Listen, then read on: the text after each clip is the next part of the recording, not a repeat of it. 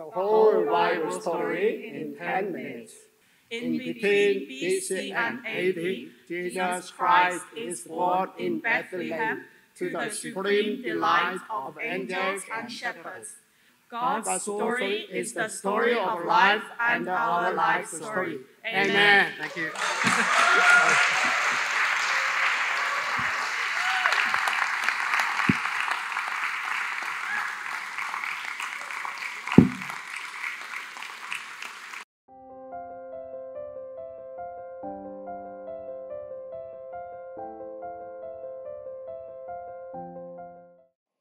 오늘은 2023년 3월 19일 3회독 6일째입니다.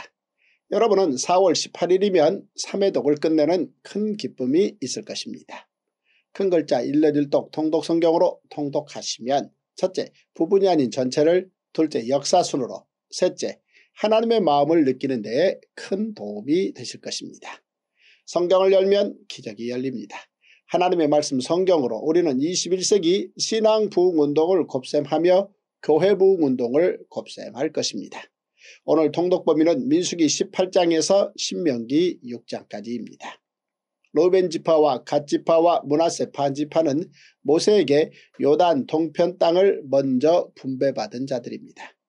이들은 요단 서편 정복을 시작하기도 전에 모세에게 먼저 요단 동편 땅을 분배해달라고 부탁하고 이를 승낙받았는데 그 이유는 로벤 지파와 갓 지파 그리고 문하세 반 지파는 다른 지파들에 비해 많은 양을 소유하고 있었기에 목축하기 좋은 요단 동편 땅이 필요했기 때문이었습니다.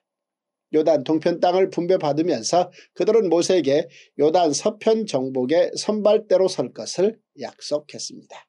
이후 모세의 뒤를 이어 여호수아가 이스라엘의 지도자가 되자 그들은 요단 서편 정복 전쟁을 앞두고 여호수아에게 용기를 주었으며 모세에게 약속한 대로 전쟁의 선발대로 나서 다른 지파들과 함께 5년간의 가나안 정복 전쟁에 참여했고 모든 지파가 땅을 분배받은 후 요단 동편으로 되돌아갔습니다. 이때 여호수아는 온 마음을 다해 그들을 축복해 주었습니다. 자 이제 오늘의 말씀 민수기 18장에서 신명기 6장까지 통독하겠습니다. 구독과 좋아요 눌러주시고 오늘도 성경 속 기적이 여러분 삶의 기적이 되시기를 간절히 기도합니다. 제51일 민수기 18장 여호와께서 아론에게 이르시되 너와 내 아들들과 내 조상의 가문은 성소에 대한 죄를 함께 담당할 것이요 너와 내 아들들은 너희의 제사장 직분에 대한 죄를 함께 담당할 것이니라. 너는 내 형제 레위 지파 곧 내 조상의 지파를 데려다가 너와 함께 있게 하여 너와 내 아들들이 증거의 장막 앞에 있을 때 그들이 너를 돕게 하라. 레위인은 내 직무와 장막의 모든 직무를 지키려니와 성소의 기구와 재단에는 가까이 하지 못하리니 두렵건대 그들과 너희가 죽을까 하노라. 레위인은 너와 합동하여 장막의 모든 일과 회막의 직무를 다 할 것이요 다른 사람은 너희에게 가까이 하지 못할 것이니라. 이와 같이 너희는 성소의 직무와 재단의 직무를 다하라. 그리하면 여호와의 진노가 다시는 이스라엘 자손에게 미치지 아니하리라.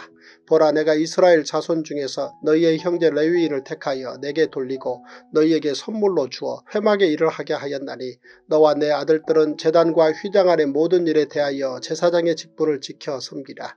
내가 제사장의 직분을 너희에게 선물로 주었은즉 거기 가까이 하는 외인은 죽임을 당할지니라. 여호와께서 또 아론에게 이르시되 보라 내가 내 거제물 곧 이스라엘 자손이 거룩하게 한 모든 헌물을 내가 주관하게 하고 내가 기름 부음을 받았으므로 말미암아 그것을 너와 내 아들들에게 영구한 몫의 음식으로 주노라. 지성물 중에 불사르지 아니한 것은 내 것이라. 그들이 내게 드리는 모든 헌물의 모든 소재와 속죄제와 속건제물은 다 지극히 거룩한즉 너와 내 아들들에게 돌리리니 지극히 거룩하게 여김으로 먹으라. 이는 내게 성물인즉 남자들이 다 먹을지니라. 내게 돌릴 것은 이것이니 곧 이스라엘 자손이 드리는 거제물과 모든 요제물이라. 내가 그것을 너와 내 자녀에게 영구한 몫의 음식으로 주었은즉 내 집에 정결한 자마다 먹을 것이니라. 그들이 여호와께 드리는 첫 소산 곧 제일 좋은 기름과 제일 좋은 포도주와 곡식을 내게 주었은즉 그들이 여호와께 드리는 그 땅에 처음 익은 모든 열매는 내 것이니 내 집에서 정결한 자마다 먹을 것이라. 이스라엘 중에서 특별히 드린 모든 것은 내 것이 되리라. 여호와께 드리는 모든 생물에 처음 나는 것은 사람이나 짐승이나 다 내 것이로되 처음 태어난 사람은 반드시 대속할 것이요. 처음 태어난 부정한 짐승도 대속할 것이며 그 사람을 대속할 때에는 난지 한 달 이후에 내가 정한 대로 성소의 세계를 따라 은 다섯 세겔로 대속하라. 한 세겔은 이십 게라이니라. 오직 처음 태어난 소나 처음 태어난 양이나 처음 태어난 염소는 대속하지 말지니 그것들은 거룩한즉 그 피는 재단에 뿌리고 그 기름은 불살라. 여호와께 향기로운 화제로 드릴 것이며 그 고기는 내게 돌릴지니 흔든 가슴과 오른쪽 넓적다리 같이 내게 돌릴 것이니라. 이스라엘 자손이 여호와께 거제로 드리는 모든 성물은 내가 영구한 몫의 음식으로 너와 내 자녀에게 주노니 이는 여호와 앞에 너와 내 후손에게 영원한 소금 언약이니라. 여호와께서 또 아론에게 이르시되 너는 이스라엘 자손의 땅에 기업도 없겠고 그들 중에 아무 분깃도 없을 것이나 내가 이스라엘 자손 중에 내 분깃이요 내 기업이니라. 내가 이스라엘의 11조를 레위 자손에게 기업으로 다 주어서 그들이 하는 일 곧 회막에서 하는 일을 갚나니 이후로는 이스라엘 자손이 회막에 가까이 하지 말 것이라 죄값으로 죽을까 하노라. 그러나 레위인은 회막에서 봉사하며 자기들의 죄를 담당할 것이요 이스라엘 자손 중에는 기업이 없을 것이니 이는 너희 대대의 영원한 율례라. 이스라엘 자손이 여호와께 거제로 드리는 11조를 레위인에게 기업으로 주었으므로 내가 그들에 대하여 말하기를 이스라엘 자손 중에 기업이 없을 것이라 하였노라. 여호와께서 모세에게 말씀하여 이르시되 너는 레위인에게 말하여 그에게 이르라. 내가 이스라엘 자손에게 받아 너희에게 기업으로 준 11조를 너희가 그들에게서 받을 때에 그 11조의 11조를 거제로 여호와께 드릴 것이라.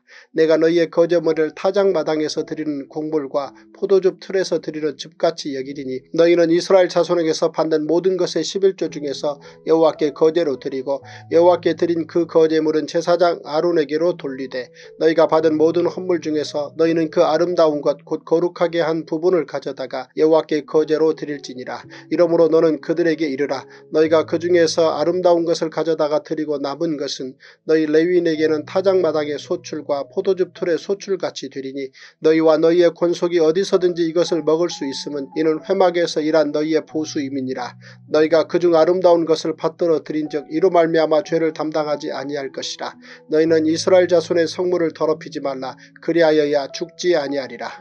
민수기 19장 여호와께서 모세와 아론에게 말씀하여 이르시되 여호와께서 명령하시는 법의 율례를 이제 이르노니 이스라엘 자손에게 일러서 온전하여 흠이 없고 아직 멍에 매지 아니한 붉은 암송아지를 내게로 끌어오게 하고 너는 그것을 제사장 엘라아살에게 줄 것이요 그는 그것을 진영 밖으로 끌어내어서 자기 목전에서 잡게 할 것이며 제사장 엘라아살은 손가락에 그 피를 찍고 그 피를 회막 앞을 향하여 일곱 번 뿌리고 그 암소를 자기 목전에서 불사르게 하되 그 가죽과 고기와 피 피와 똥을 불사르게 하고 동시에 제사장은 백향목과 우슬초와 홍색실을 가져다가 암송아지를 사르는 불 가운데에 던질 것이며 제사장은 자기의 옷을 빨고 물로 몸을 씻은 후에 진영에 들어갈 것이라 그는 저녁까지 부정하리라. 송아지를 불사른 자도 자기의 옷을 물로 빨고 물로 그 몸을 씻을 것이라 그도 저녁까지 부정하리라. 이에 정결한 자가 암송아지의 죄를 거두어 진영 밖 정한 곳에 둘지니 이것은 이스라엘 자손 회중을 위하여 간직하였다가 부정을 씻는 물을 위해 간직할지니 그것은 속죄제니라. 암송아지의 죄를 거둔 자도 자기의 옷을 빨 것이며 저녁까지 부정하리라. 이는 이스라엘 자손과 그 중에 거류하는 외인에게 영원한 율례니라. 사람의 시체를 만진 자는 이래 동안 부정하리니 그는 셋째 날과 일곱째 날에 잿물로 자신을 정결하게 할 것이라.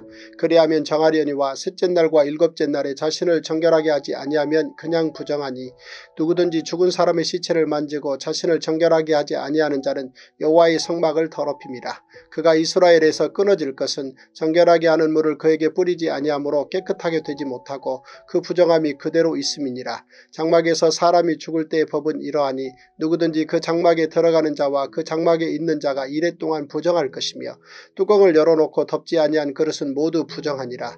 누구든지 들에서 칼에 죽은 자나 시체나 사람의 뼈나 무덤을 만졌으면 이래 동안 부정하리니 그 부정한 자를 위하여 죄를 깨끗하게 하려고 불사른 재를 가져다가 흐르는 물과 함께 그릇에 담고 정결한 자가 우슬초를 가져다가 그 물을 찍어 장막과 그 모든 기구와 거기 있는 사람들에게 뿌리고 또 뼈나 죽임을 당한 자나 시체나 무덤을 만진 자에게 뿌리 뿌리되 그 정결한 자가 셋째 날과 일곱째 날에 그 부정한 자에게 뿌려서 일곱째 날에 그를 정결하게 할 것이며 그는 자기 옷을 빨고 물로 몸을 씻을 것이라 저녁이면 정결하리라. 사람이 부정하고도 자신을 정결하게 하지 아니하면 여호와의 성소를 더럽히니 그러므로 회중 가운데에서 끊어질 것이니라. 그는 정결하게 하는 물로 뿌림을 받지 아니하였은즉 부정하니라. 이는 그들의 영구한 율례니라. 정결하게 하는 물을 뿌린 자는 자기의 옷을 빨 것이며 정결하게 하는 물을 만지는 자는 저녁까지 부정할 것이며 부정한 자가 만진 것은 무엇이든지 부정할 것이며 그것을 만지는 자도 저녁까지 부정하리라.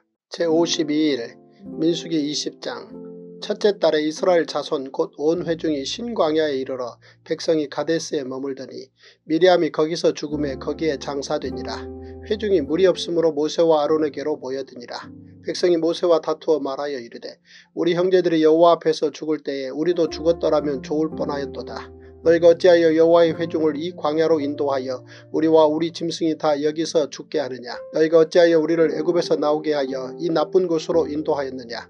이곳에는 파종할 곳이 없고 무화과도 없고 포도도 없고 석류도 없고 마실 물도 없도다. 모세와 아론이 회중 앞을 떠나 회막문에 이르러 엎드림에 여호와의 영광이 그들에게 나타나며 여호와께서 모세에게 말씀하여 이르시되 지팡이를 가지고 내 형 아론과 함께 회중을 모으고 그들의 목전에서 너희는 반석에게 명령하여 물을 내라 하라. 내가 그 반석에 물을 내게 하여 회중과 그들의 짐승에게 마시게 할지니라. 모세가 그 명령대로 여호와 앞에서 지팡이를 잡으니라. 모세와 아론이 회중을 그 반석 앞에 모으고 모세가 그들에게 이르되 반역한 너희여 들으라. 우리가 너희를 위하여 이 반석에서 물을 내려 하고 모세가 그의 손을 들어 그의 지팡이로 반석을 두 번 치니 물이 많이 솟아나오므로 회중과 그들의 짐승이 마시니라. 여호와께서 모세와 아론에게 이르시되 너희가 나를 믿지 아니하고 이스라엘 자손의 목전에서 내 거룩함을 나타내지 아니한 거로 너희는 이 회중을 내가 그들에게 준 땅으로 인도하여 드리지 못하리라 하시니라. 이스라엘 자손이 여호와와 다투었으므로 이를 무리바 무리라 하니라. 여호와께서 그들 중에서 그 거룩함을 나타내셨더라. 모세가 가데스에서 에돔 왕에게 사신을 보내며 이르되 당신의 형제 이스라엘의 말에 우리가 당한 모든 고난을 당신도 아시거니와 우리 조상들이 애굽으로 내려갔으므로 우리가 애굽에 오래 거주하였더니 애굽인이 우리 조상들과 우리를 학대하였으므로 우리가 여호와께 부르짖었더니 우리 소리를 들으시고 천사를 보내사 우리를 애굽에서 인도하여 내셨나이다. 이제 우리가 당신의 변방 모퉁이 한 성읍 가데스에 있사오니 청하건대 우리에게 당신 의 땅을 지나가게 하소서. 우리가 밭으로나 포도원으로 지나가지 아니하고 우물물도 마시지 아니하고 왕의 큰 길로만 지나가고 당신의 지경에서 나가기까지 왼쪽으로나 오른쪽으로나 치우치지 아니하리이다 한다고 하라 하였더니 에도방이 대답하되 너는 우리 가운데로 지나가지 못하리라. 내가 칼을 들고 나아가 너를 대적할까 하노라. 이스라엘 자손이 이르되 우리가 큰 길로만 지나가겠고 우리나 우리 짐승이 당신의 물을 마시면 그 값을 낼 것이라. 우리가 도보로 지나갈 뿐인즉 아무 일도 없으리이다 하나 그는 이르되 너는 지나가지 못하리라 하고 에도방이 많은 백성을 거느리고 나와서 강한 손으로 막으니 에도망이 이같이 이스라엘이 그의 영토로 지나감을 용납하지 아니하므로 이스라엘이 그들에게서 돌이키니라. 이스라엘 자손 곧 온 회중이 가데스를 떠나 호루산에 이르렀더니 여호와께서 에돔 땅 변경 호루산에서 모세와 아론에게 말씀하시니라. 이르시되 아론은 그 조상들에게로 돌아가고 내가 이스라엘 자손에게 준 땅에는 들어가지 못하리니 이는 너희가 무리바 물에서 내 말을 거역한 까닭이니라. 너는 아론과 그의 아들 엘라사를 데리고 호루산에 올라 아론의 옷을 벗겨 그의 아들 엘라살에게 입히라. 아론은 거기서 죽어 그 조상에게로 돌아가리라. 모세가 여호와의 명령을 따라 그들과 함께 회중의 목전에서 호르산에 오르니라. 모세가 아론의 옷을 벗겨 그의 아들 엘라살에게 입힘에 아론이 그 산꼭대기에서 죽으니라. 모세와 엘라살이 산에서 내려오니 온 회중 곧 이스라엘 온 족속이 아론이 죽은 것을 보고 그를 위하여 30일 동안 애곡하였더라. 민수기 21장 내겝에 거주하는 가나안 사람 곧 아라세 왕이 이스라엘이 아다림길로 온다 함을 듣고 이스라엘을 쳐서 그중 몇 사람을 사로잡은지라 이스라엘이 여호와께 소원하여 이르되 주께서 만일 이 백성을 내 손에 넘기시면 내가 그들의 성읍을 다 멸하리이다. 여호와께서 이스라엘의 목소리를 들으시고 가나안 사람을 그들의 손에 넘기심에 그들과 그들의 성읍을 다 멸하니라. 그러므로 그곳 이름을 호르마라 하였더라. 백성이 호르산에서 출발하여 홍해길을 따라 에돔 땅을 우회하려 하였다가 길로 말미암아 백성의 마음이 상하니라. 백성이 하나님과 모세를 향하여 원망하되 어찌하여 우리를 애굽에서 인도해 내어 이 광야에서 죽게 하는가 이곳에는 먹을 것도 없고 물도 없도다 우리 마음이 이 하찮은 음식을 싫어하노라 하며 여호와께서 불뱀들을 백성 중에 보내어 백성을 물게 하심으로 이스라엘 백성 중에 죽은 자가 많은지라 백성이 모세에게 이르러 말하되 우리가 여호와와 당신을 향하여 원망함으로 범죄하여 싸우니 여호와께 기도하여 이 뱀들을 우리에게서 떠나게 하소서. 모세가 백성을 위하여 기도하며 여호와께서 모세에게 이르시되 불뱀을 만들어 장대 위에 매달아라. 물린 자마다 그것을 보면 살리라 모세가 노뱀을 만들어 장대 위에 다니 뱀에게 물린 자가 노뱀을 쳐다본 즉 모두 살더라. 이스라엘 자손이 그곳을 떠나 오봇에 진을 쳤고 오봇을 떠나 모압 앞쪽 해돋는 쪽 광야 이에 아바립에 진을 쳤고 거기를 떠나 세렛 골짜기에 진을 쳤고 거기를 떠나 아모리인의 영토에서 흘러나와서 광야에 이른 아르논 강 건너편에 진을 쳤으니 아르논은 모압과 아모리 사이에서 모압의 경계가 된 것이라. 이러므로 여호와의 전쟁기에 일렀을 수바의 와헙과 아르논 골짜기와 모든 골짜기의 비탈은 아르고우를 향하여 기울어지고 모압의 경계에 닿았도다 하였더라. 거기서 부엘에 이르니 부엘은 여호와께서 모세에게 명령하시기를 백성을 모으라 내가 그들에게 물을 주리라 하시던 우물이라. 그때 이스라엘이 노래하여 이르되 우물물아 솟아나라 너희는 그것을 노래하라 이 우물은 주의관들이 팠고 백성의 귀인들이 귀와 지팡이로 판 것이로다 하였더라. 그들은 광야에서 마따나에 이르렀고 마따나에서 나할리엘에 이르렀고 나할리엘에서 바못에 이르렀고 바못에서 모압들에 있는 골짜기에 이르러 광야가 내려다 보이는 비스가산 꼭대기에 이르렀더라. 이스라엘이 아모리 왕 시온에게 사신을 보내어 이르되 우리에게 당신의 땅을 지나가게 하소서 우리가 밭에든지 포도원에든지 들어가지 아니하며 우물물도 마시지 아니하고 당신의 지경에서 다 나가기까지 왕의 큰 길로만 지나가리이다 하나 시온이 이스라엘이 자기 영토로 지나감을 용납하지 아니하고 그의 백성을 다 모아 이스라엘을 치러 광야로 나와서 야하스에 이르러 이스라엘을 치므로 이스라엘이 칼날로 그들을 쳐서 무찌르고 그 땅을 아르논에서부터 야포까지 점령하여 암몬 자손에게까지 미치니 암몬 자손의 경계는 견고하더라. 이스라엘이 이같이 그 모든 성읍을 빼앗고 그 아모리인의 모든 성읍 헤스본과 그 모든 촌락에 거주하였으니 헤스본은 아모리인의 왕 시온 시온의 도성이라. 시온이 그전 모아방을 치고 그의 모든 땅을 아르논까지 그의 손에서 빼앗았더라. 그러므로 시인이 읊어 이르되 너희는 헤스본으로 올지어다. 시온의 성을 세워 경고히 할지어다. 헤스본에서 불이 나오며 시온의 성에서 화염이 나와서 모압의 아르를 삼키며 아르논 높은 곳의 주인을 멸하였도다. 모아바 내가 화를 당하였도다. 그모스의 백성아 내가 멸망하였도다. 그가 그의 아들들을 도망하게 하였고 그의 딸들을 아모리인의 왕 시온의 포로가 되게 하였도다. 우리가 그들을 쏘아서 헤스본을 디본까지 멸하였고 메드바에 가까운 노바까지 황폐하게 하였도다 하였더라. 이스라엘이 아모레인의 땅에 거주하였더니 모세가 또 사람을 보내어 야세를 정탐하게 하고 그 촌락들을 빼앗고 그곳에 있던 아모리인을 몰아내었더라. 그들이 돌이켜 바산길로 올라가며 바산왕 옥이 그의 백성을 다 거느리고 나와서 그들을 맞아 에드레이에서 싸우려 하는지라. 여호와께서 모세에게 이르시되 그를 두려워하지 말라. 내가 그와 그의 백성과 그의 땅을 내 손에 넘겼나니 너는 헤스본에 거주하던 아모리인의 왕 시온에게 행한 것 같이 그에게도 행할지니라. 이에 그와 그의 아들 아들들과 그의 백성을 다 쳐서 한 사람도 남기지 아니하고 그의 땅을 점령하였더라. 제53일 민수기 22장 이스라엘 자손이 또 길을 떠나 모압 평지에 진을 쳤으니 요단 건너편 곧 여리고 맞은편이더라. 스볼의 아들 발락이 이스라엘이 아모리인에게 행한 모든 일을 보았으므로 모압이 심히 두려워하였으니 이스라엘 백성이 많음으로 말미암아 모압이 이스라엘 자손 때문에 번민하더라. 미디안 장로들에게 이르되 이제 이 무리가 소가 밭의 풀을 뜯어먹음같이 우리 사방에 있는 것을 다 뜯어먹으리로다 하니 그때 십볼의 아들 발락이 모압 왕이었더라. 그가 사실을 부올의 아들 발람의 고향인 강가 부돌에 보내어 발람을 부르게 하여 이르되 보라 한 민족이 애굽에서 나왔는데 그들이 지면에 덮여서 우리 맞은편에 거주하였고 우리보다 강하니 청하건대 와서 나를 위하여 이 백성을 저주하라. 내가 혹 그들을 쳐서 이겨 이 땅에서 몰아내리라. 그대가 복을 비는 자는 복을 받고 저주하는 자는 저주를 받을 줄을 내가 알미니라.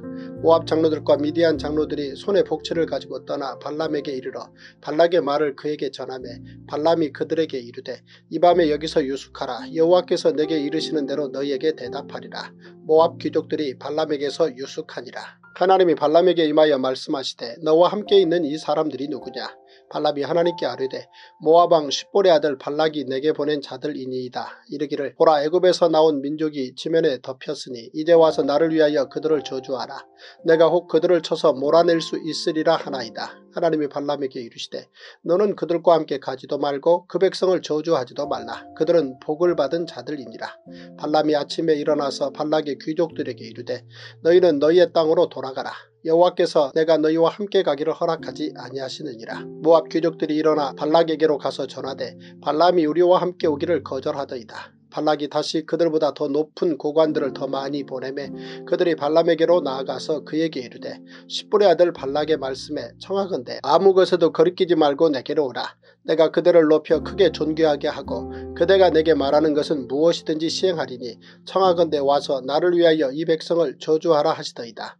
발람이 발락의 신하들에게 대답하여 이르되 발락이 그 집에 가득한 은금을 내게 줄지라도 내가 능히 여호와 내 하나님의 말씀을 어겨 덜하거나 더하지 못하겠노라. 그런즉 이제 너희도 이 밤에 여기서 유숙하라. 여호와께서 내게 무슨 말씀을 더 하실는지 알아보리라.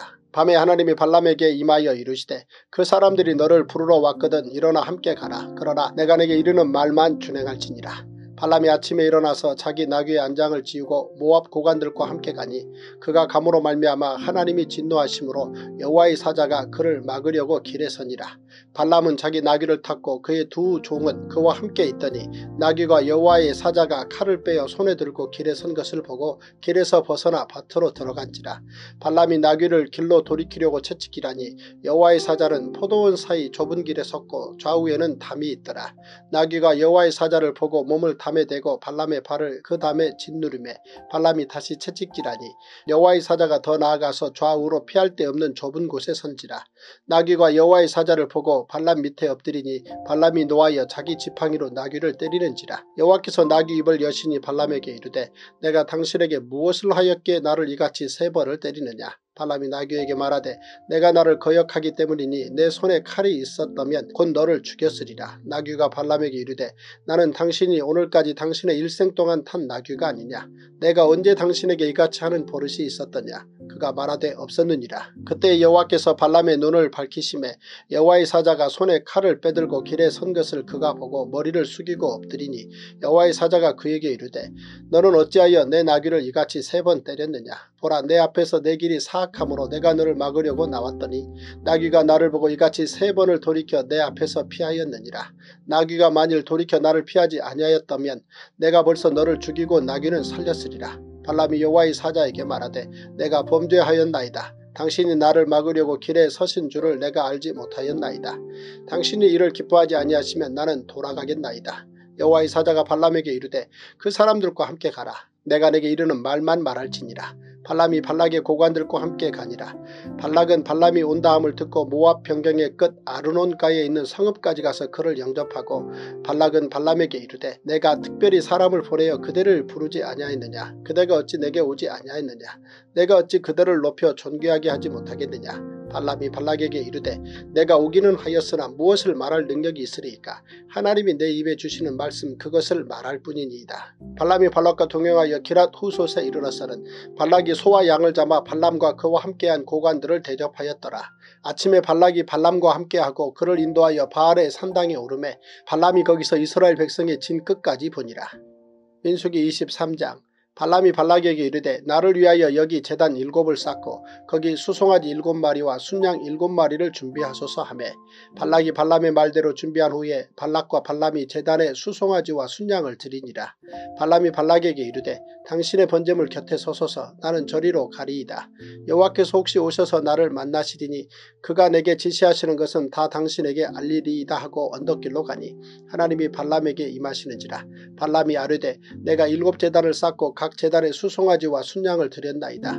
여호와께서 발람의 입에 말씀을 주시며 이르시되 발락에게 돌아가서 이렇게 말할지니라. 그가 발락에게로 돌아간즉 발락과 모압의 모든 고관이 번제물 곁에 함께 섰더라. 발람이 예언을 전하여 말하되 발락이 나를 아람에서 모압 왕이 동쪽산에서 데려다가 이르기를 와서 나를 위하여 야곱을 저주하라. 와서 이스라엘을 꾸짖으라 하도다. 하나님이 저주하지 않으신 자를 내가 어찌 저주하며 여호와께서 꾸짖지 않으신 자를 내가 어찌 꾸짖으랴. 내가 바위 위에서 그들을 보며 작은 산에서 그들을 바라보니 이 백성은 홀로 살 것이라. 그를 여러 민족 중에 하나로 여기지 않으리로다.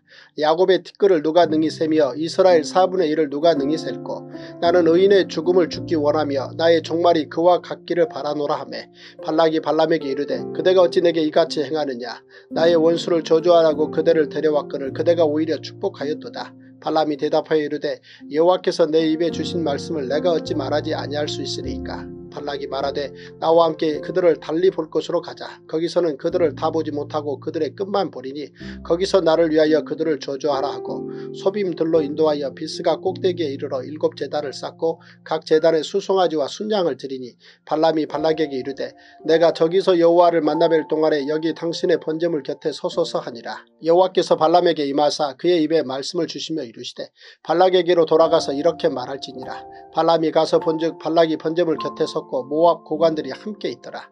발락이 발람에게 이르되 여호와께서 무슨 말씀을 하시더냐. 발람이 예언하여 이르기를 발락이여 일어나 들을지어다. 십볼의 아들이여 내게 자세히 들으라. 하나님은 사람이 아니시니 거짓말을 하지 않으시고 인생이 아니시니 후회가 없으시도다. 어찌 그 말씀하신 바를 행하지 않으시며 하신 말씀을 실행하지 않으시랴. 내가 축복할 것을 받았으니 그가 주신 복을 내가 돌이키지 않으리라. 야곱의 허물을 보지 아니하시며 이스라엘의 반역을 보지 아니하시는도다. 여호와 그들의 하나님이 그들과 함께 계시니 왕을 부르는 소리가 그 중에 있도다. 하나님이 그들을 애굽에서 인도하여 내셨으니 그의 힘이 들소와 같도다. 야곱을 해할 점술이 없고 이스라엘을 해할 복술이 없도다. 이때 야곱과 이스라엘에 대하여 논할진대 하나님께서 행하신 일이 어찌 그리 크냐 하리로다. 이 백성이 암사자같이 일어나고 수사자같이 일어나서 움킨 것을 먹으며 죽인 피를 마시기 전에는 눕지 아니하리로다 하매 발락이 발람에게 이르되 그들을 저주하지도 말고 축복하지도 말라. 발람이 발락에게 대답하여 이르되 내가 당신에게 말하여 이르기를 여호와께서 말씀 말씀하신 것은 내가 그대로 하지 않을 수 없다고 하지 아니하더이까. 발락이 발람에게 또 이르되 오라 내가 너를 다른 곳으로 인도하리니 내가 거기서 나를 위하여 그들을 저주하기를 하나님이 혹시 기뻐하시리라 하고 발락이 발람을 인도하여 광야가 내려다 보이는 부월산 꼭대기에 이르니 발람이 발락에게 이르되 나를 위하여 여기 일곱 재단을 쌓고 거기 수송아지 일곱 마리와 순양 일곱 마리를 준비하소서 발락이 발람의 말대로 행하여 각 재단에 수송아지와 순양을 드리니라.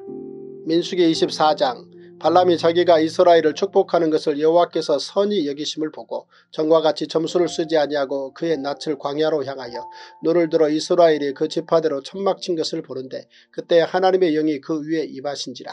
그가 예언을 전하여 말하되 부올의 아들 발람이 말하며 눈을 감았던 자가 말하며 하나님의 말씀을 듣는 자 전능자의 환상을 보는 자 엎드려서 눈을 뜬 자가 말하기를 야곱이여 내 장막들이 이스라엘이여 내 거처들이 어찌 그리 아름다운고 그 벌어짐이 골짜기 같고 강가의 동산 같으며 여호와께서 심으신 침향목들 같고 물가의 백향목들 같도다. 그 물통에서는 물이 넘치겠고 그 씨는 많은 물가에 있으리로다. 그의 왕이 아각보다 높으니 그의 나라가 흥왕하리로다. 하나님이 그를 애굽에서 인도하여 내셨으니 그 힘이 들소와 같도다.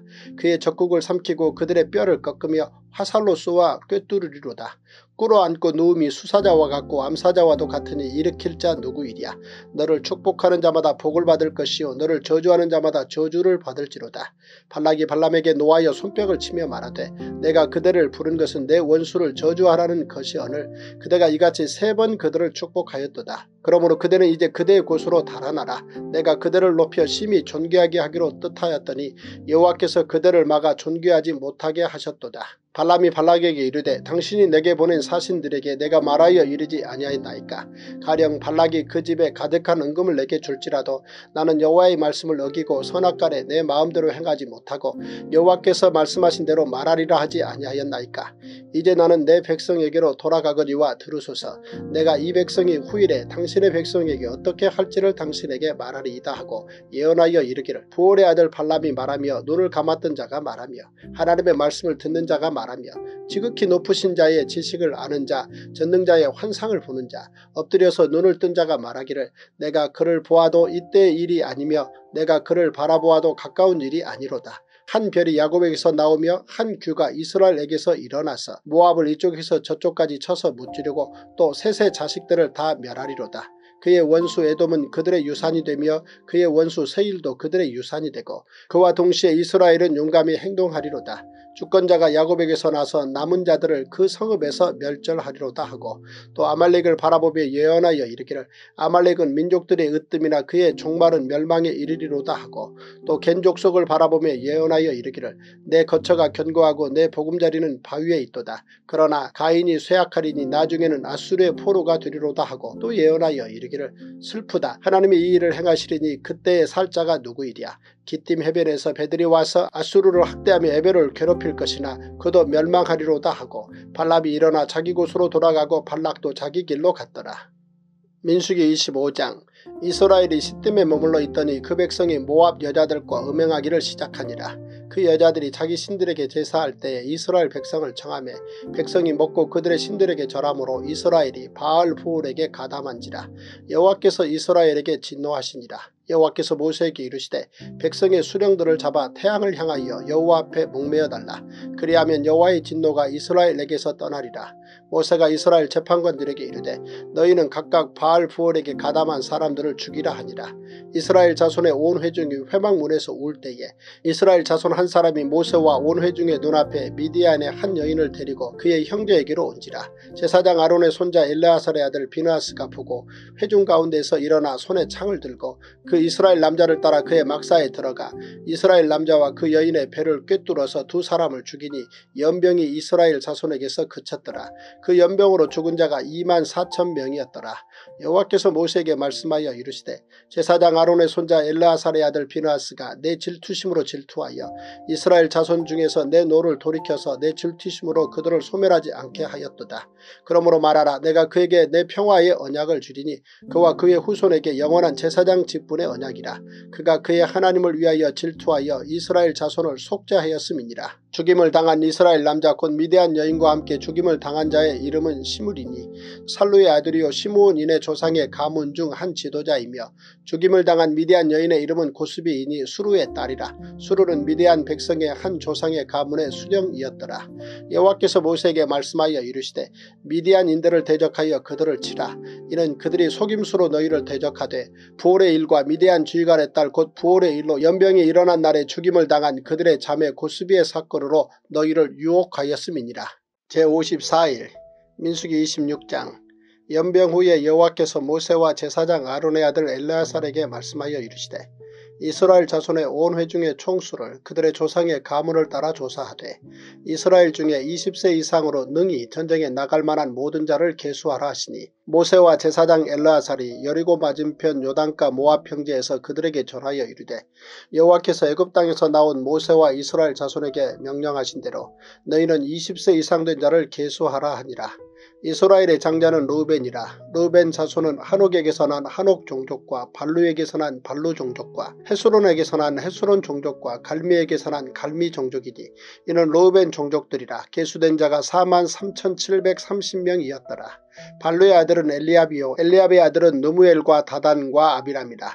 이 다단과 아비람은 회중 가운데서 부름을 받은 자들이니 고라의 무리에 들어가서 모세와 아론을 거슬러 여호와께 반역할 때에 땅이 그 입을 벌려서 그 무리와 고라를 삼킴에 그들이 죽었고 당시에 불이 250명을 삼켜 징표가 되게 하였으나 고라의 아들들은 죽지 아니하였더라. 시므온 자손의 종족들은 이러하니 느무엘에게서 난 느무엘 종족과 야민에게서 난 야민 종족과 야긴에게서 난 야긴 종족과 세라에게서 난 세라 종족과 사울에게서 난 사울 종족이라. 이는 시므온의 종족들이니 계수된 자가 22,200명이었더라. 가짜손의 종족들은 이러하니 스본에게서 난 스본 종족과 학기에게서 난 학기 종족과 순이에게서 난 순이 종족과 오순이에게서 난 오순이 종족과 에리에게서 난 에리 종족과 아롯에게서 난 아롯 종족과 아렐리에게서 난 아렐리 종족이라. 이는 가짜손의 종족들이니 계수된 자가 4만 500명이었더라.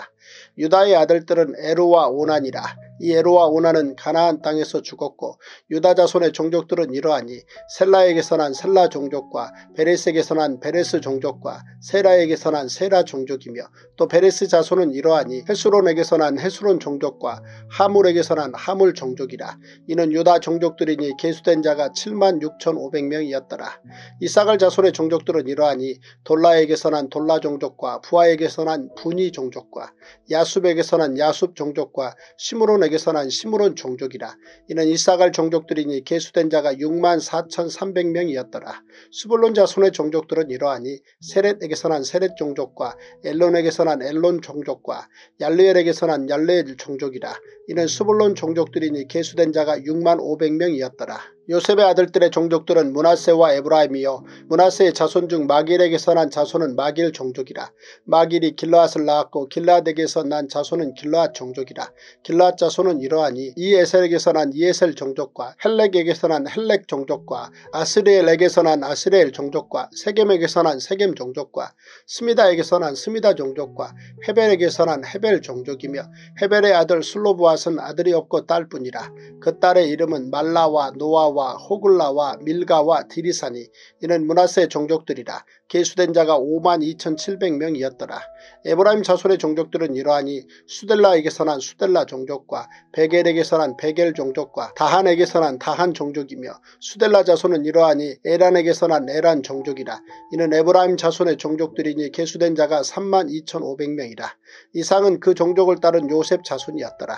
베냐민 자손의 종족들은 이러하니 벨라에게서 난 벨라 종족과 아스벨에게서 난 아스벨 종족과 아이람에게서 난 아이람 종족과 수부밤에게서 난 수부밤 종족과 후밤에게서 난 후밤 종족이며 벨라의 아들들은 아릇과 나아만이라. 아릇에게서 아릇 종족과 나아만에게서 나아만 종족이 났으니 이는 그들의 종족을 따른 베냐민 자손이라 계수된 자가 4만 5천6백명이었더라.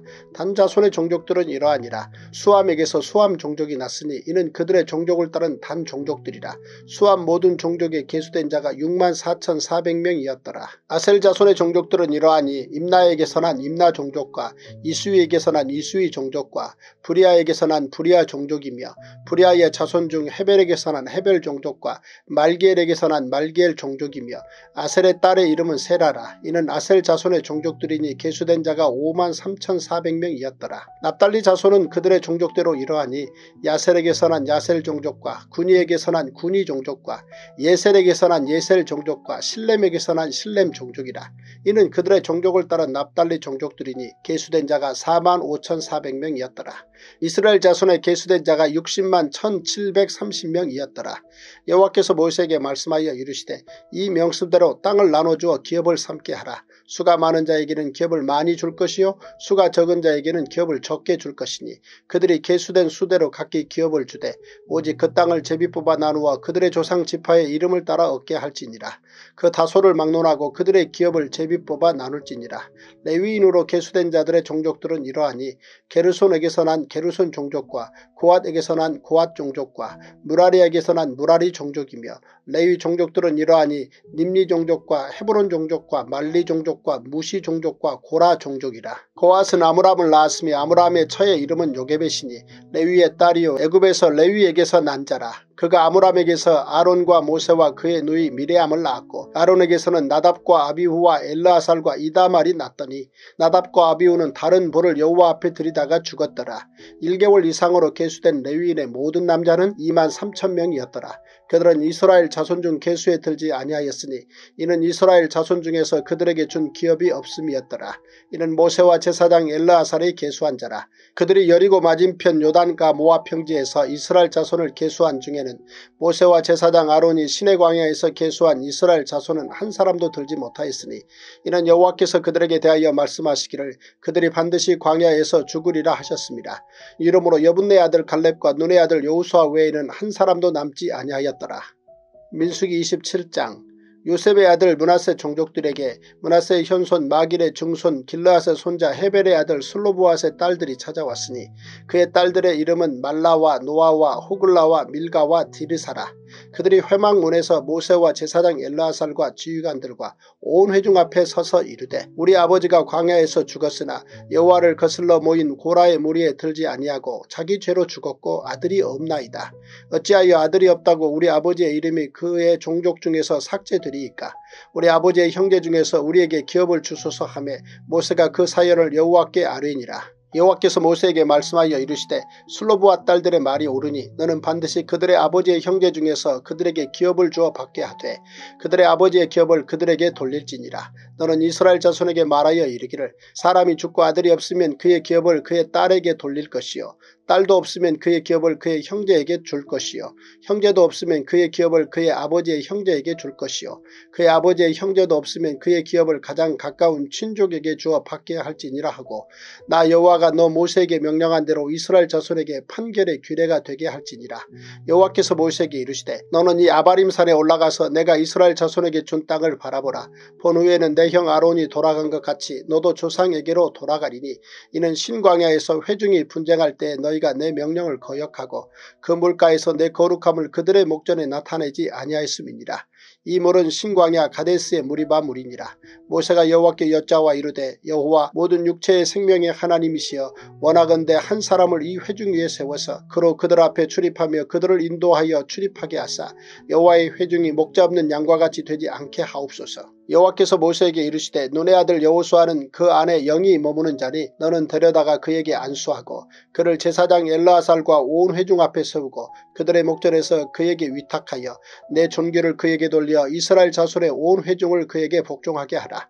그는 제사장 엘라살 앞에 설 것이요 엘라살은 그를 위하여 우림의 판결로서 여호와 앞에 물을 것이며 그와 온 이스라엘 자손 곧 온 회중은 엘라살의 말을 따라 나가며 들어올 것이니라. 모세가 여호와께서 자기에게 명령하신 대로 하여 여호수아를 데려다가 제사장 엘라살과 온 회중 앞에 세우고 그에게 안수하여 위탁하되 여호와께서 모세에게 명령하신 대로 하였더라. 제55일 민수기 28장 여호와께서 모세에게 말씀하여 이르시되 이스라엘 자손에게 명령하여 그들에게 이르라. 내 헌물 내 음식인 화재물 내 향기로운 것은 너희가 그 정한 시기에 삼가 내게 바칠지니라. 또 그들에게 이르라. 너희가 여호와께 드릴 화제는 이러하니 1년 되고 흠없는 순양을 매일 두 마리씩 상번제로 드리되 어린 양 한 마리는 아침에 드리고 어린 양 한 마리는 해질 때에 드릴 것이요 또 고운 가루 10분의 1 에바에 빻아낸 기름 4분의 1 흰을 섞어서 소재로 드릴 것이니 이는 시내산에서 정한 상번제로서 여호와께 드리는 향기로운 화제며 또 그 전제는 어린 양 한 마리에 4분의 1 흰을 드리되 거룩한 곳에서 여호와께 독주의 전제를 부어 드릴 것이며 해질 때에는 두 번째 어린 양을 드리되 아침에 드린 소제와 전제와 같이 여호와께 향기로운 화제로 드릴 것이니라. 안식일에는 1년 되고 흠없는 순양 두 마리와 고운 과로 10분의 2의 기름 섞은 소제와 그 전제를 드릴 것이니 이는 상번제와 그 전제 외에 매 안식일의 번제니라. 초하루에는 수송아지 두 마리와 순양 한 마리와 1년 되고 흠없는 순양 일곱 마리로 여호와께 번제를 드리되 매 수송아지에는 고운 가루 10분의 3의 기름 섞은 소제와 순양 한 마리에는 고운 가루 10분의 2의 기름 섞은 소제와 매 어린 양에는 고운 가루 10분의 1의 기름 섞은 소재를 향기로운 번제로 여호와께 화제를 드릴 것이며 그 전제는 수송아지 한 마리에 포도주 반 흰이요 순양 한 마리에 3분의 1 흰이요 어린 양 한 마리에 4분의 1 흰이니 이는 1년 중 매월 초하루의 번제며 또 상번제와 그 전제 외에 순념소 한 마리를 속죄제로 여호와께 드릴 것이니라. 첫째 달 열넷째 날은 여호와를 위하여 지킬 유월절이며 또 그 달 열다섯째 날부터는 명절이니 이래 동안 무교병을 먹을 것이며 그 첫날에는 성회로 모일 것이요 아무 일도 하지 말 것이며 수송아지 두 마리와 순양 한 마리와 1년 된 순양 일곱 마리를 다 흠없는 것으로 여호와께 화제를 드려 번제가 되게 할 것이며 그 소재로는 고운 가루에 기름을 섞어서 쓰되 수송아지 한 마리에는 10분의 3이요 순양 한 마리에는 10분의 2를 드리고 어린 양 일곱에는 어린 양 한 마리마다 10분의 1을 드릴 것이며 또 너희를 속죄하기 위하여 순념소 한 마리로 속죄제를 드리되 아침에 번제 곧 상번제 외에 그것들을 드릴 것이니라. 너희는 이 순서대로 이래 동안 매일 여호와께 향기로운 화제의 음식을 드리되 상번제와 그 전제 외에 드릴 것이며 일곱째 날에는 성회로 모일 것이요 아무 일도 하지 말 것이니라. 77절 처음 익은 열매를 드리는 날에 너희가 여호와께 새 소재를 드릴 때에도 성회로 모일 것이요 아무 일도 하지 말 것이며 수송아지 두 마리와 순양 한 마리와 1년 된 순양 일곱 마리로 여호와께 향기로운 번제를 드릴 것이며 그 소재로는 고운 가루에 기름을 섞어서 쓰되 수송아지 한 마리마다 10분의 3이요 순양 한 마리에는 10분의 2요 어린 양 일곱 마리에는 어린 양 한 마리마다 10분의 1을 드릴 것이며 또 너희를 속죄하기 위하여 순념소 한 마리를 드리되 너희는 다 흠없는 것으로 상번제와 그 소재와 전제 외에 그것들을 드릴 것이니라. 민수기 29장 일곱째 달에 이르러는 그 달 초하루에 성회로 모이고 아무 노동도 하지 말라. 이는 너희가 나팔을 불 날이니라.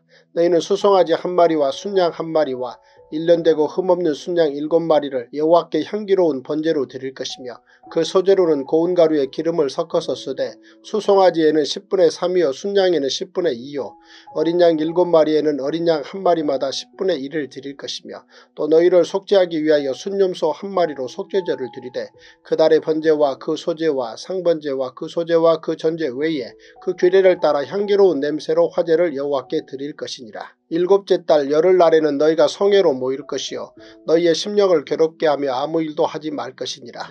너희는 수송아지 한 마리와 순양 한 마리와 1년 된 순양 일곱 마리를 다 흠없는 것으로 여호와께 향기로운 번제를 드릴 것이며 그 소재로는 고운 가루에 기름을 섞어서 쓰되 수송아지 한 마리에는 10분의 3이요 순양 한 마리에는 10분의 2요 어린 양 일곱 마리에는 어린 양 한 마리마다 10분의 1을 드릴 것이며 속죄제와 상번제와 그 소제와 그 전제 외에 순념소 한 마리를 속죄제로 드릴 것이니라.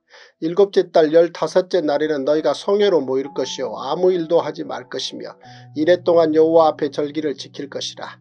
너희 번제로 여호와께 향기로운 화제를 드리되 수송아지 열세 마리와 순양 두 마리와 1년 된 순양 14마리를 다 흠없는 것으로 드릴 것이며 그 소재로는 고운 가루에 기름을 섞어서 수송아지 13마리에는 각기 10분의 3이요 순양 2마리에는 각기 10분의 2요 어린 양 14마리에는 각기 10분의 1을 드릴 것이며 상번제와 그 소재와 그 전제 외에 순념소 한 마리를 속죄제로 드릴 것이니라. 둘째 날에는 수송아지 12마리와 순양 2마리와 1년 되고 흠없는 순양 14마리를 드릴 것이며 그 소재와 전제는 수송아지와 순양과 어린 양의 수요를 따라서 규례대로 할 것이며 상번제와 그 소재와 그 전제 외에 순념소 한 마리를 속죄제로 드릴 것이니라. 셋째 날에는 수송아지 11마리와 순양 2마리와 1년 되고 흠없는 순양 14마리를 드릴 것이며 그 소재와 전제는 수송아지와 순양과 어린 양의 수요를 따라서 규례대로 할 것이며 상번제와 그 소재와 그 전제 외에 순념소 한 마리를 속죄제로 드릴 것이니라. 넷째 날에는 수송아지 10마리와 순양 2마리와 1년 되고 흠없는 순양 14마리를 드릴 것이며 그 소재와 전제는 수송아지와 순양과 어린 양의 수요를 따라 규례대로 할 것이며 상번제와 그 소재와 그 전제 외에 순념소 한 마리를 속죄제로 드릴 것이니라. 다섯째 날에는 수송아지 아홉 마리와 순양 두 마리와 1년 되고 흠없는 순양 14마리를 드릴 것이며 그 소재와 전제는 수송아지와 순양과 어린 양의 수요를 따라서 규례대로 할 것이며 상번제와 그 소재와 그 전제 외에 순념소 한 마리를 속죄제로 드릴 것이니라. 여섯째 날에는 수송아지 여덟 마리와 순양 두 마리와 1년 되고 흠없는 순양 14마리를 드릴 것이며 그 소재와 전제는 수송아지와 순양과 어린 양의 수요를 따라서 규례대로 할 것이며 상번제 소재와 그 소재와 그 전제 외에 순념소 한 마리를 속죄제로 드릴 것이니라. 일곱째 날에는 수송아지 일곱 마리와 순양 두 마리와 1년 되고 흠없는 순양 14마리를 드릴 것이며 그 소재와 전제는 수송아지와 순양과 어린 양의 수요를 따라 규례대로 할 것이며 상번제와 그 소재와 그 전제 외에 순념소 한 마리를 속죄제로 드릴 것이니라. 여덟째 날에는 장엄한 대회로 모일 것이요 아무 일도 하지 말 것이며 번제로 여호와께 향기로운 화제를 드리되 수송아지 한 마리와 순양 한 마리와 1년 되고 흠없는 순양 일곱 마리를 드릴 것이며 그 소재와 전제 는 수송아지와 순양과 어린 양의 수요를 따라 규례대로 할 것이며 상번제와 그 소재와 그 전제 외에 순념소 한 마리를 속죄제로 드릴 것이니라. 너희가 이 절기를 당하거든 여호와께 이같이 드릴지니 이는 너희의 서원제나 낙헌제로 드리는 번제, 소제, 전제, 화목제 외에 드릴 것이니라. 모세가 여호와께서 모세에게 명령하신 모든 일을 이스라엘 자손에게 말하니라. 민수기 30장 모세가 이스라엘 자손 지파의 수령들에게 말하여 이르되 여호와의 명령이 이러하니라 사람이 여호와께 서원하였거나 결심하고 서약하였으면 깨뜨리지 말고 그가 입으로 말한 대로 다 이행할 것이니라. 또 여자가 만일 어려서 그 아버지 집에 있을 때에 여호와께 서원한 일이나 스스로 결심하려고 한 일이 있다고 하자 그의 아버지가 그의 서원이나 그가 결심한 서약을 듣고도 그에게 아무 말이 없으면 그의 모든 서원을 행할 것이요 그가 결심한 서약을 지킬 것이니라. 그러나 그의 아버지가 그것을 듣는 날에 허락하지 아니하면 그의 서원과 결심한 서약을 이루지 못할 것이니 그의 아버지가 허락하지 아니하였은즉 여호와께서 사하시리라. 또 혹시 남편을 맞을 때 서원이나 결심한 서약을 경솔하게 그의 입술로 말하였으면 그의 남편이 그것을 듣고 그 듣는 날에 그에게 아무 말이 없으면 그 서원을 이행할 것이요 그가 결심한 서약을 지킬 것이니라. 그러나 그의 남편이 그것을 듣는 날에 허락하지 아니하면 그 서원과 결심하려고 경솔하게 입술로 말한 서약은 무효가 될 것이니 여호와께서 그 여자를 사하시리라. 과부나 이혼당한 여자의 서원이나 그가 결심한 모든 서약은 지킬 것이니라. 부녀가 혹시 그의 남편의 집에서 서원을 하였다든지 결심하고 서약을 하였다 하자 그의 남편이 그것을 듣고도 아무 말이 없고 금하지 않으면 그 서원은 다 이행할 것이요 그가 결심한 서약은 다 지킬 것이니라. 그러나 그의 남편이 그것을 듣는 날에 무효하게 하면 그 서원과 결심한 일에 대하여 입술로 말한 것을 아무것도 이루지 못하나니 그의 남편이 그것을 무효하게 하였은즉 여호와께서 그 부녀를 사하시느니라. 모든 서원과 마음을 자제하기로 한 모든 서약은 그의 남편이 그것을 지키게도 할 수 있고 무효하게도 할 수 있으니 그의 남편이 여러 날이 지나도록 말이 없으면 아내의 서원과 스스로 결심한 일을 지키게 하는 것이니 이는 그가 그것을 들을 때에 그의 아내에게 아무 말도 아니하였으므로 지키게 됨이니라. 그러나 그의 남편이 들은 지 얼마 후에 그것을 무효하게 하면 그가 아내의 죄를 담당할 것이니라. 이는 여호와께서 모세에게 명령하신 규례니 남편이 아내에게 아버지가 자기 집에 있는 어린 딸에 대한 것이니라. 제56일 민수기 31장 여호와께서 모세에게 말씀하여 이르시되 이스라엘 자손의 원수를 미디안에게 갚으라. 그 후에 내가 내 조상에게로 돌아가리라. 모세가 백성에게 말하여 이르되 너와 함께 있는 사람들 가운데서 전쟁에 나갈 사람들을 무장시키고 미디아를 치러 보내어 여호와의 원수를 갚되 이스라엘 모든 지파에게 각 지파에서 천명씩을 전쟁에 보낼지니라 하매 각 지파에서 천명씩 이스라엘 백만 명 중에서 만 이천 명을 택하여 무장을 시킨지라. 모세가 각 지파에 천명씩 싸움에 보내되 제사장 엘라아살의 아들 비나스에게 성소의 기구와 신호 나팔을 들려서 그들과 함께 전쟁에 보내매 그들이 여호와께서 모세에게 명령하신 대로 미디안을 쳐서 남자를 다 죽였고 그 죽인 자 외에 미디안의 다섯 왕을 죽였으니 미디안의 왕들은 에위와 레겜과 수르와 후루와 레바이며 또 부올의 아들 발람을 칼로 죽였더라. 이스라엘 자손이 미디안의 부녀들과 그들의 아이들을 사로잡고 그들의 가축과 양떼와 재물을 다 탈취하고 그들이 거처하는 성읍들과 촌락을 다 불사르고 탈취한 것 노략한 것 사람과 짐승을 다 빼앗으니라. 그들이 사로잡은 자와 노략한 것과 탈취한 것을 가지고 여리고 맞은편 요단강가 모압 평지의 진영에 이르러 모세와 제사장 엘라아살과 이스라엘 자손의 회중에게로 나아오니라. 모세와 제사장 엘라아살과 회중의 지도자들이 다 진영 밖에 나가서 영접하다가 모세가 군대의 지휘관 곧 싸움에서 돌아온 천부장들과 백부장들에게 노하니라. 모세가 그들에게 이르되 너희가 여자들을 다 살려두었느냐. 보라 이들이 발람의 꾀를 따라 이스라엘 자손을 부월의 사건에서 여호와 앞에 범죄하게 하여 여호와의 회중 가운데 연병이 일어나게 하였느니라. 그러므로 아이들 중에서 남자는 다 죽이고 남자와 동침하여 사내를 아는 여자도 다 죽이고 남자와 동침하지 아니하여 사내를 알지 못하는 여자들은 다 너희를 위하여 살려둘 것이니라. 너희는 이래 동안 진영 밖에 주둔하라. 누구든지 살인자나 죽임을 당한 사체를 만진 자는 셋째 날과 일곱째 날에 몸을 깨끗하게 하고 너희의 포로도 깨끗하게 할 것이며 모든 의복과 가죽으로 만든 모든 것과 염소털로 만든 모든 것과 나무로 만든 모든 것을 다 깨끗하게 할지니라. 제사장 엘라아살이 싸움에 나갔던 군인들에게 이르되 이는 여호와께서 모세에게 명령하신 율법이니라. 금, 은, 동, 철과 주석과 납 등의 불에 견딜 만한 모든 물건은 불을 지나게 하라.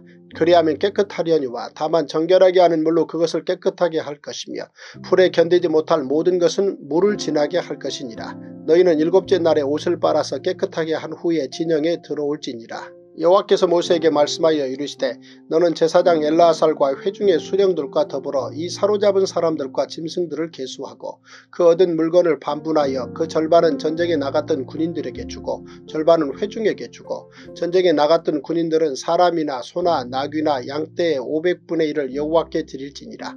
곧 이를 그들의 절반에서 가져다가 여호와의 거제로 제사장 엘라살에게 주고 또 이스라엘 자손이 받은 절반에서는 사람이나 소나 나귀나 양떼나 각종 짐승 50분의 1을 가져다가 여호와의 성막을 맡은 레위인에게 주라. 모세와 제사장 엘라아살이 여호와께서 모세에게 명령하신 대로 하니라. 그 탈춤을 곧 군인들의 다른 탈춤을 외에 양이 67만 5천 마리요 소가 7만 2천 마리요 나귀가 6만 1천 마리요 사람은 남자와 동침하지 아니하여서 사내를 알지 못하는 여자가 도합 3만 2천 명이니 그 절반 곧 전쟁에 나갔던 자들의 소유가 양이 33만 7천 5백 마리라. 여호와께 곡물로 드린 양이 675요 소가 3만 6천 마리라. 그 중에서 여호와께 곡물로 드린 것이 72마리요 나귀가 3만 5백 마리라. 그 중에서 여호와께 곡물로 드린 것이 61마리요 사람이 1만 6천 명이라. 그 중에서 여호와께 곡물로 드린 자가 32명이니 여호와께 거제의 곡물로 드린 것을 모세가 모세가 제사장 엘라아살에게 주었으니 여호와께서 모세에게 명령하심과 같았더라. 모세가 전쟁에 나갔던 자에게서 나누어 이스라엘 자손에게 준 절반 곧 회중이 받은 절반은 양이 33만 7천 5백마리요 소가 3만 6천 마리요 나귀가 3만 5백마리요 사람이 1만 6천 명이라. 이스라엘 자손의 그 절반에서 모세가 사람이나 짐승의 50분의 1을 취하여 여호와의 장막을 맡은 레위인에게 주었으니 여호와께서 모세에게 명령하심과 같았더라. 군대의 지휘관들 곧 천부장과 백부장들이 모세에게 나와서 모세에게 말하되 당신의 종들이 이끈 군의를 계수한 즉 우리 중 한 사람도 충나지 아니하였기로 우리 각 사람이 받은 바 금패물 곧 발목걸이 손목걸이 인장반지 귀걸이 목걸이들을 여호와께 헌금으로 우리의 생명을 위하여 여호와 앞에 속죄하려고 가져왔나이다. 모세와 제사장 엘라아살이 그들에게서 그 금으로 만든 모든 패물을 취한 즉 천부장과 백부장들이 여호와께 드린 거제 의 금의 도합이 16,750세길이니 군인들이 각기 자기를 위하여 탈취한 것이니라. 모세와 제사장 엘라아살이 천부장과 백부장들에게서 금을 취하여 혐하게 드려 여호와 앞에서 이스라엘 자손의 기념을 삼았더라. 민수기 32장 로벤 자손과 갓 자손은 심히 많은 가축대를 가졌더라. 그들이 야셀 땅과 길레아 땅을 본즉 그곳은 목축할 만한 장소인지라.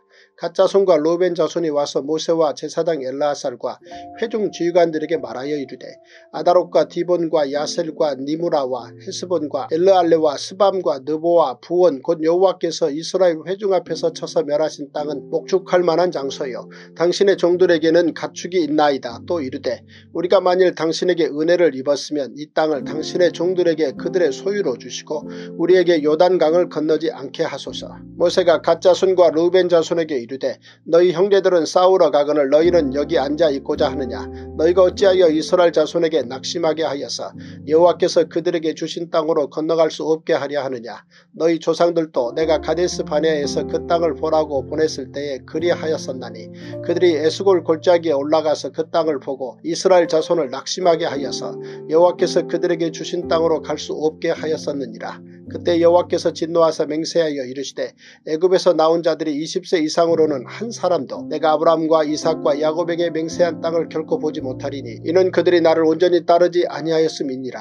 그러나 그나스 사람 여분네 아들 갈렙과 눈의 아들 여호수아는 여호와를 온전히 따랐느니라 하시고 여호와께서 이스라엘에게 진노하사 그들에게 40년 동안 광야에 방황하게 하셨으므로 여호와의 목전에 악을 행한 그 세대가 마침내는 다 끊어졌느니라.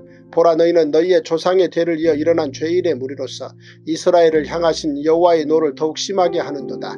너희가 만일 돌이켜 여호와를 떠나면 여호와께서 다시 이 백성을 광야에 버리시리니 그리하면 너희가 이 모든 백성을 멸망시키리라. 그들이 모세에게 가까이 나와 이르되 우리가 이곳에 우리 가축을 위하여 우리를 짓고 우리 어린 아이들을 위하여 성읍을 건축하고 이 땅에 원주민이 있으므로 우리 어린 아이들을 그 견고한 성읍에 거주하게 한 후에 우리는 무장하고 이스라엘 자손을 그곳으로 인도하기까지 그들의 앞에서 가고 이스라엘 자손이 각기 기업을 받기까지 우리 집으로 돌아오지 아니하게 싸우며 우리는 요단 이쪽 곧 동쪽에서 기업을 받아 싸우리 그들과 함께 요단 저쪽에서는 기업을 받지 아니하겠나이다. 모세가 그들에게 이르되 너희가 만일 이 일을 행하여 무장하고 여호와 앞에서 가서 싸우되 너희가 다 무장하고 여호와 앞에서 요단을 건너가서 여호와께서 그의 원수를 자기 앞에서 쫓아내시고 그 땅에 여호와 앞에 복종하게 하시기까지 싸우면 여호와 앞에서나 이스라엘 앞에서나 무죄하여 돌아오겠고 이 땅은 여호와 앞에서 너희의 소유가 되리라마는 너희가 만일 그같이 아니하면 여호와께 범죄함이니 너희 죄가 반드시 너희를 찾아낼 줄 알라.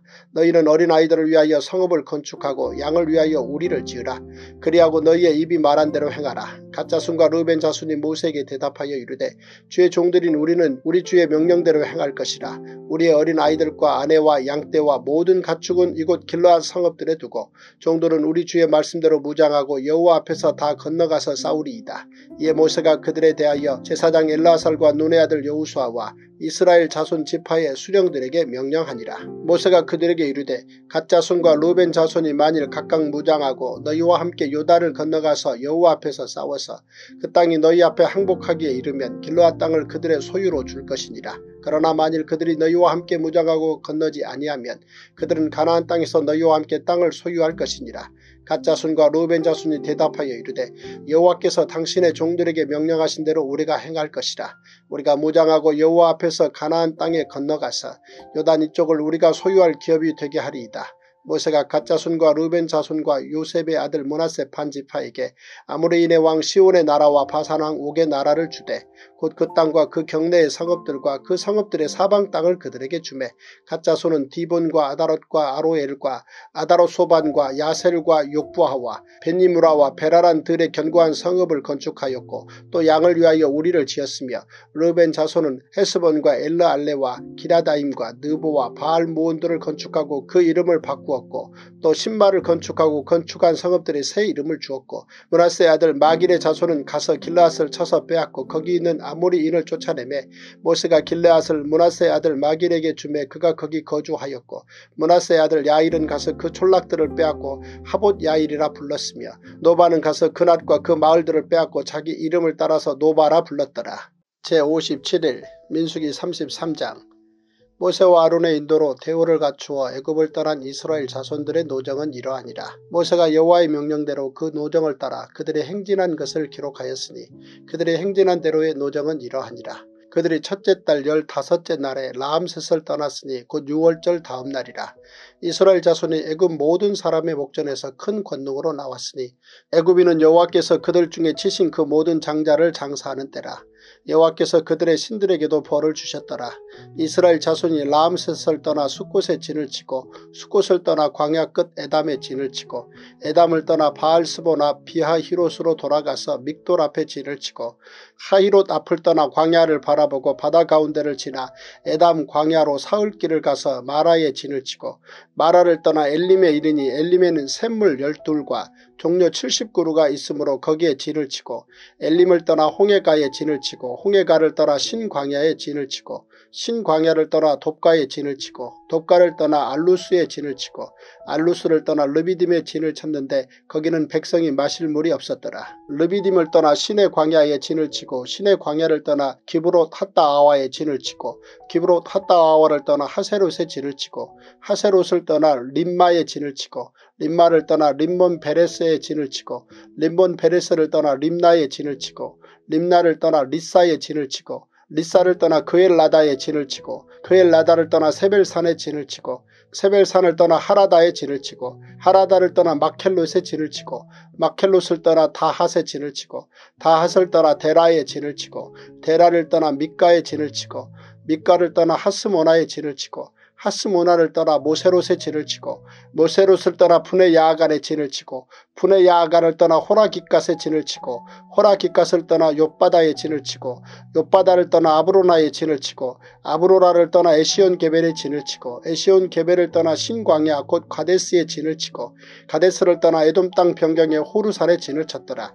이스라엘 자손이 애굽 땅에서 나온 지 40년째 5월 초 하루에 제사장 아론이 여호와의 명령으로 호루산에 올라가 거기서 죽었으니 아론이 호루산에서 죽던 때의 나이는 123세였더라.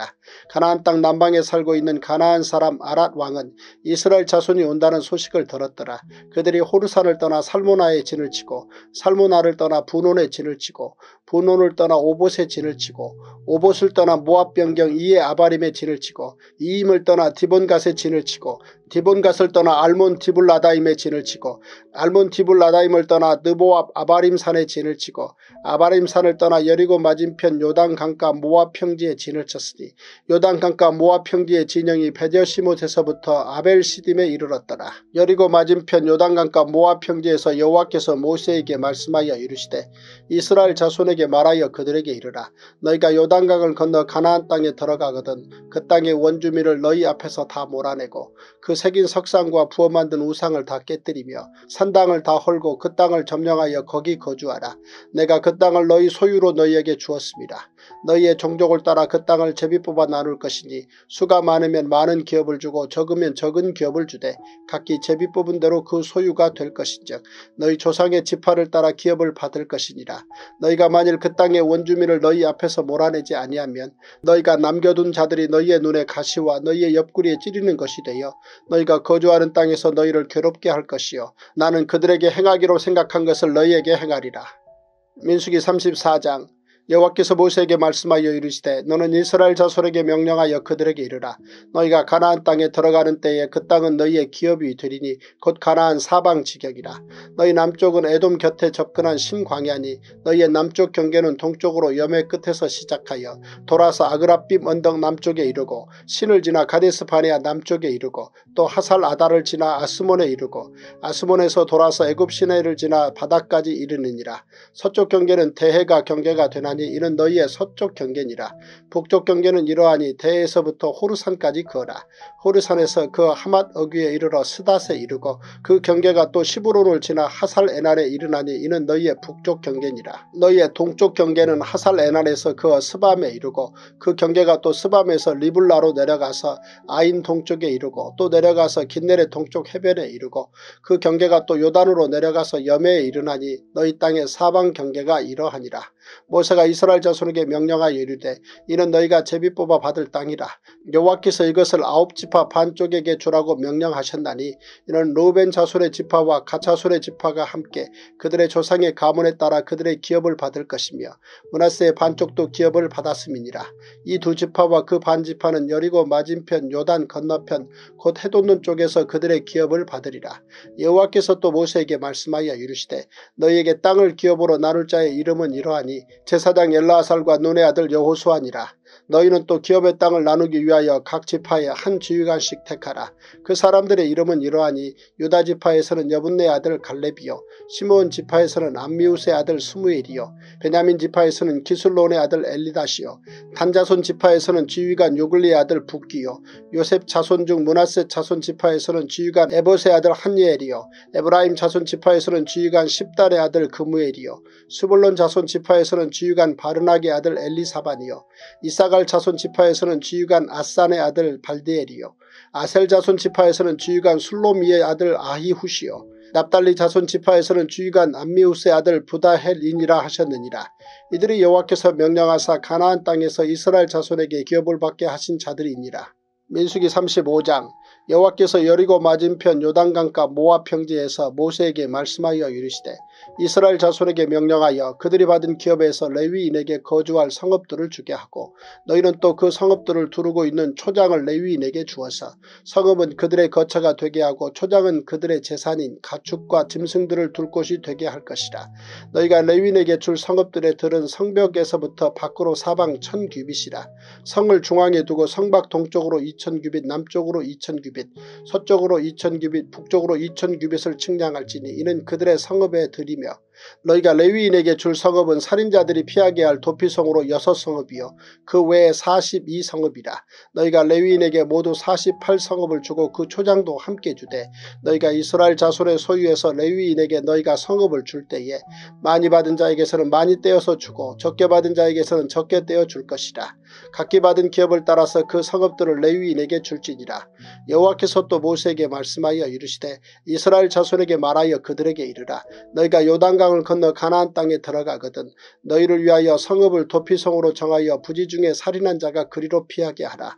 이는 너희가 복수할 자에게서 도피하는 성을 삼아 살인자가 회중 앞에 서서 판결을 받기까지 죽지 않게 하기 위함이니라. 너희가 줄 성읍 중에 여섯을 도피성이 되게 하되 새 성읍은 요단 이쪽에 두고 새 성읍은 가나안 땅에 두어 도피성이 되게 하라.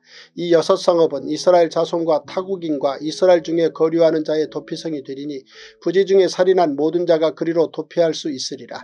만일 철 연장으로 사람을 쳐 죽이면 그는 살인자니 그 살인자를 반드시 죽일 것이요. 만일 사람을 죽일 만한 돌을 손에 들고 사람을 쳐 죽이면 이는 살인한 자니 그 살인자는 반드시 죽일 것이요.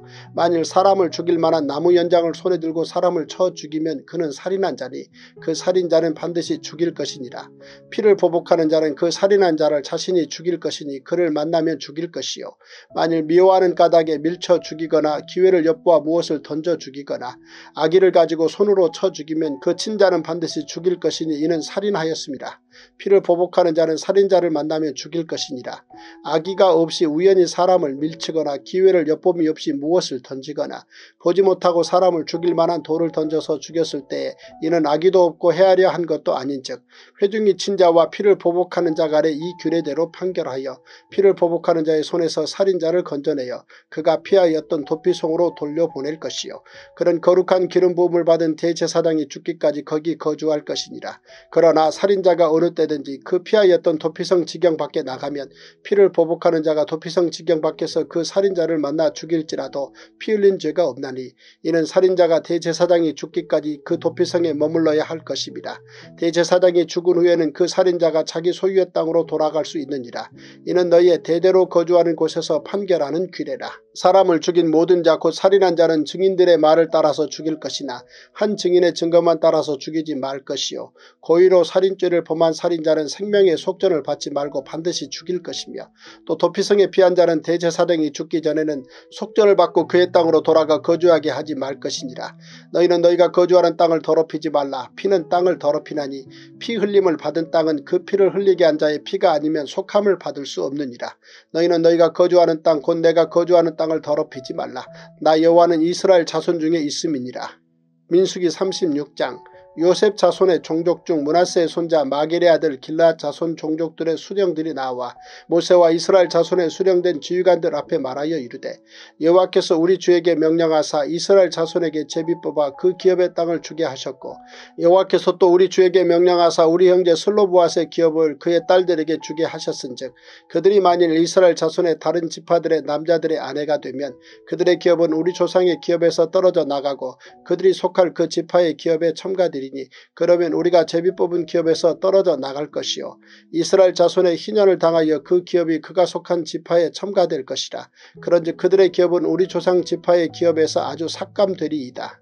모세가 여호와의 말씀으로 이스라엘 자손에게 명령하여 이르되 요셉 자손 지파의 말이 옳도다. 슬로보아스의 딸들에게 대한 여호와의 명령이 이러하니라. 이르시되 슬로보아스의 딸들을 마음대로 시집가려니와 오직 그 조상 지파의 종족에게로만 시집갈지니 그리하면 이스라엘 자손의 기업이 이 지파에서 저 지파로 옮기지 않고 이스라엘 자손이 다 각기 조상 지파의 기업을 지킬 것이니라 하셨나니 이스라엘 자손의 지파 중 그 기업을 이은 딸들은 모두 자기 조상 지파에 종족되는 사람의 아내가 될 것이라.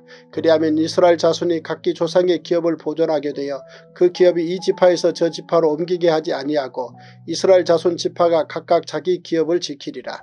슬로브아의 딸들이 여호와께서 모세에게 명령하신 대로 행하니라. 슬로브아의 딸 말라와 디리사와 호글라와 밀가와 노아가 다 그들의 숙부의 아들들의 아내가 되니라. 그들의 요셉의 아들 문하세 자손의 종족 사람의 아내가 되었으므로 그들의 종족 지파에 그들의 기업이 남아 있었더라. 이는 여리고 맞은편 요단과 모압 평지에서 여호와께서 모세를 통하여 이스라엘 자손에게 명령하신 계명과 규례니라. 제58일 신명기 1장 이는 모세가 요단 저쪽 숲 맞은편의 아라바 광야 곧 바란과 도벨과 라반과 하세력과 디사압 사이에서 이스라엘 무리에게 선포한 말씀이니라. 호랩산에서 세일산을 지나 가데스 바레아까지 열 하루길이었더라. 마흔째 해 열한째 달 그 달 첫째 날에 모세가 이스라엘 자손에게 여호와께서 그들을 위하여 자기에게 주신 명령을 다 알렸으니 그때는 모세가 헤스본에 거주하는 아모리 왕 시온을 쳐 죽이고 에드레이에서 아스타로스에 거주하는 바산왕 옥을 쳐 죽인 후라.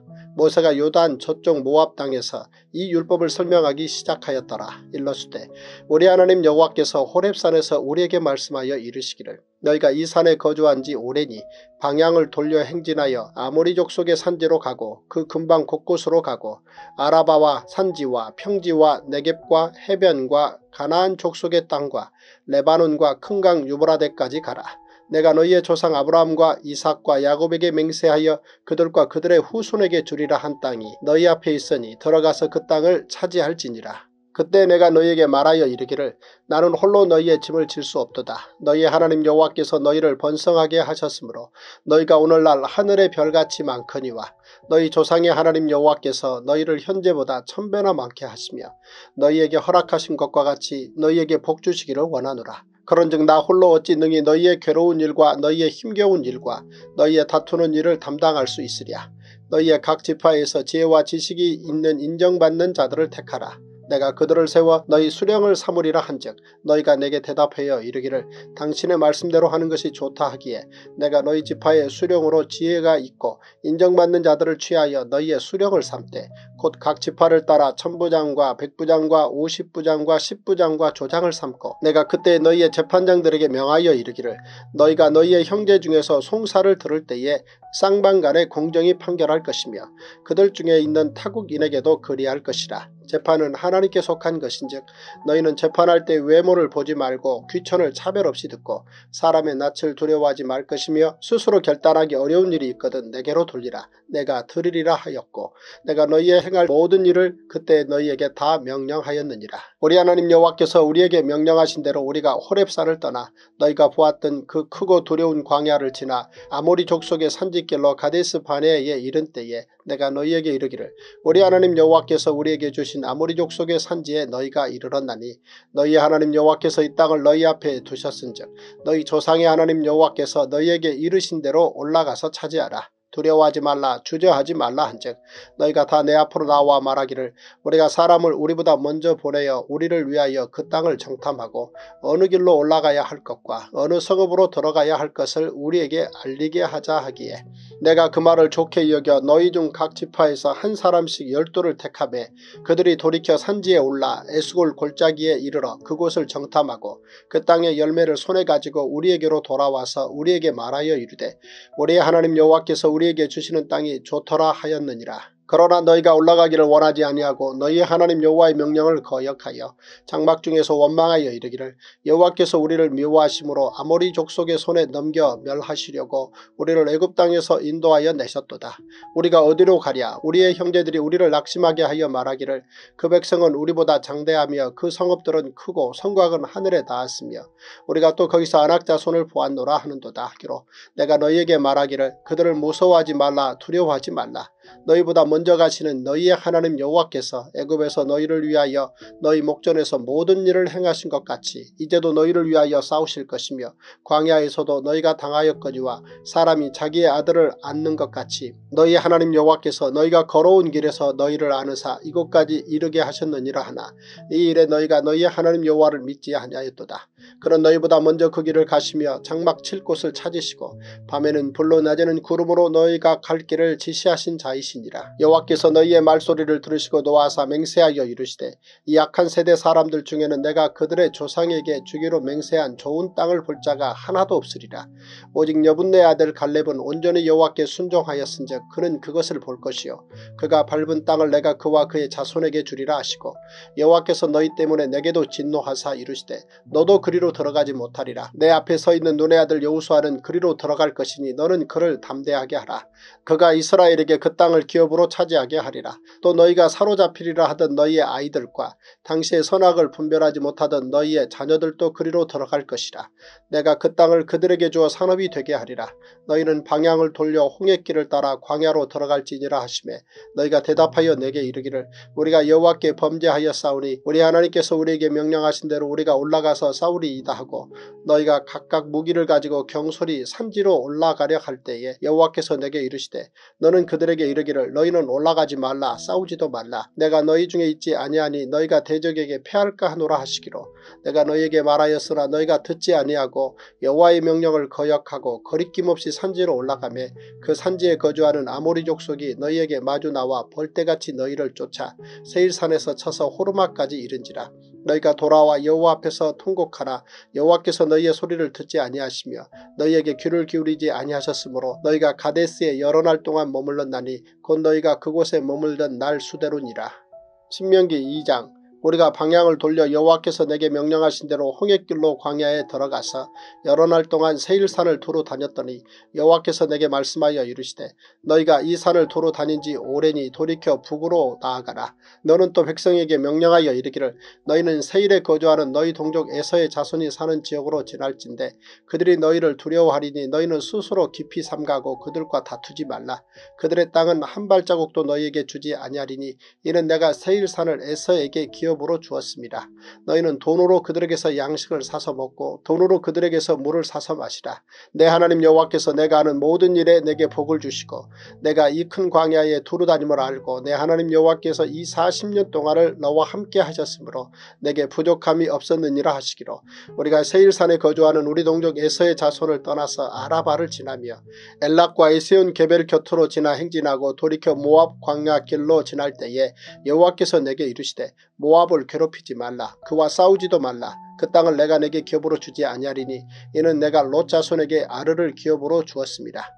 이전에는 에밈 사람이 거기 거주하였는데 아낙 족속같이 강하고 많고 키가 크므로 그들을 아낙 족속과 같이 르바임이라 불렀으나 모압 사람은 그들을 에밈이라 불렀으며 호리 사람도 세일에 거주하였는데 에서의 자손이 그들을 멸하고 그 땅에 거주하였으니 이스라엘이 여호와께서 주신 기업의 땅에서 행한 것과 같았느니라. 이제 너희는 일어나서 세레시네를 건너가라 하시기로 우리가 세레시네를 건넜으니 가데스 바네에서 떠나 세레시네를 건너기까지 38년 동안이라.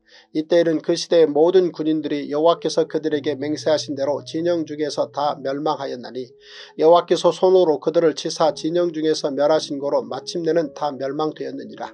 모든 군인이 사망하여 백성 중에서 멸망한 후에 여호와께서 내게 말씀하여 이르시되 내가 오늘 모압 변경 아르를 지나리니 암몬 족속에게 가까이 이르거든 그들을 괴롭히지 말고 그들과 다투지도 말라. 암몬 족속의 땅은 내가 내게 기업으로 주지 아니하리니 이는 내가 그것을 롯 자손에게 기업으로 주었습니다. 이것도 르바임의 땅이라 하였나니 전에 르바임이 거기 거주하였으며 암몬 족속은 그들을 삼순밈이라 일컬었으며 그 백성은 아낙 족속과 같이 강하고 많고 키가 컸으나 여호와께서 암몬 족속 앞에서 그들을 멸하셨으므로 암몬 족속이 대신하여 그 땅에 거주하였으니 마치 세일에 거주한 에서자손 앞에 호리 사람을 멸하신과 같으니 그들이 호리 사람을 쫓아내고 대신하여 오늘까지 거기에 거주하였으며 또 갑돌에서 나온 갑돌 사람이 가사까지 각 촌에 거주하는 아위 사람을 멸하고 그들을 대신하여 거기에 거주하였느니라. 너희는 일어나 행진하여 아르논 골짜기를 건너라. 내가 헤스본 왕 아모리 사람 시온과 그의 땅을 내 손에 넘겼은즉 이제 더불어 싸워서 그 땅을 차지하라.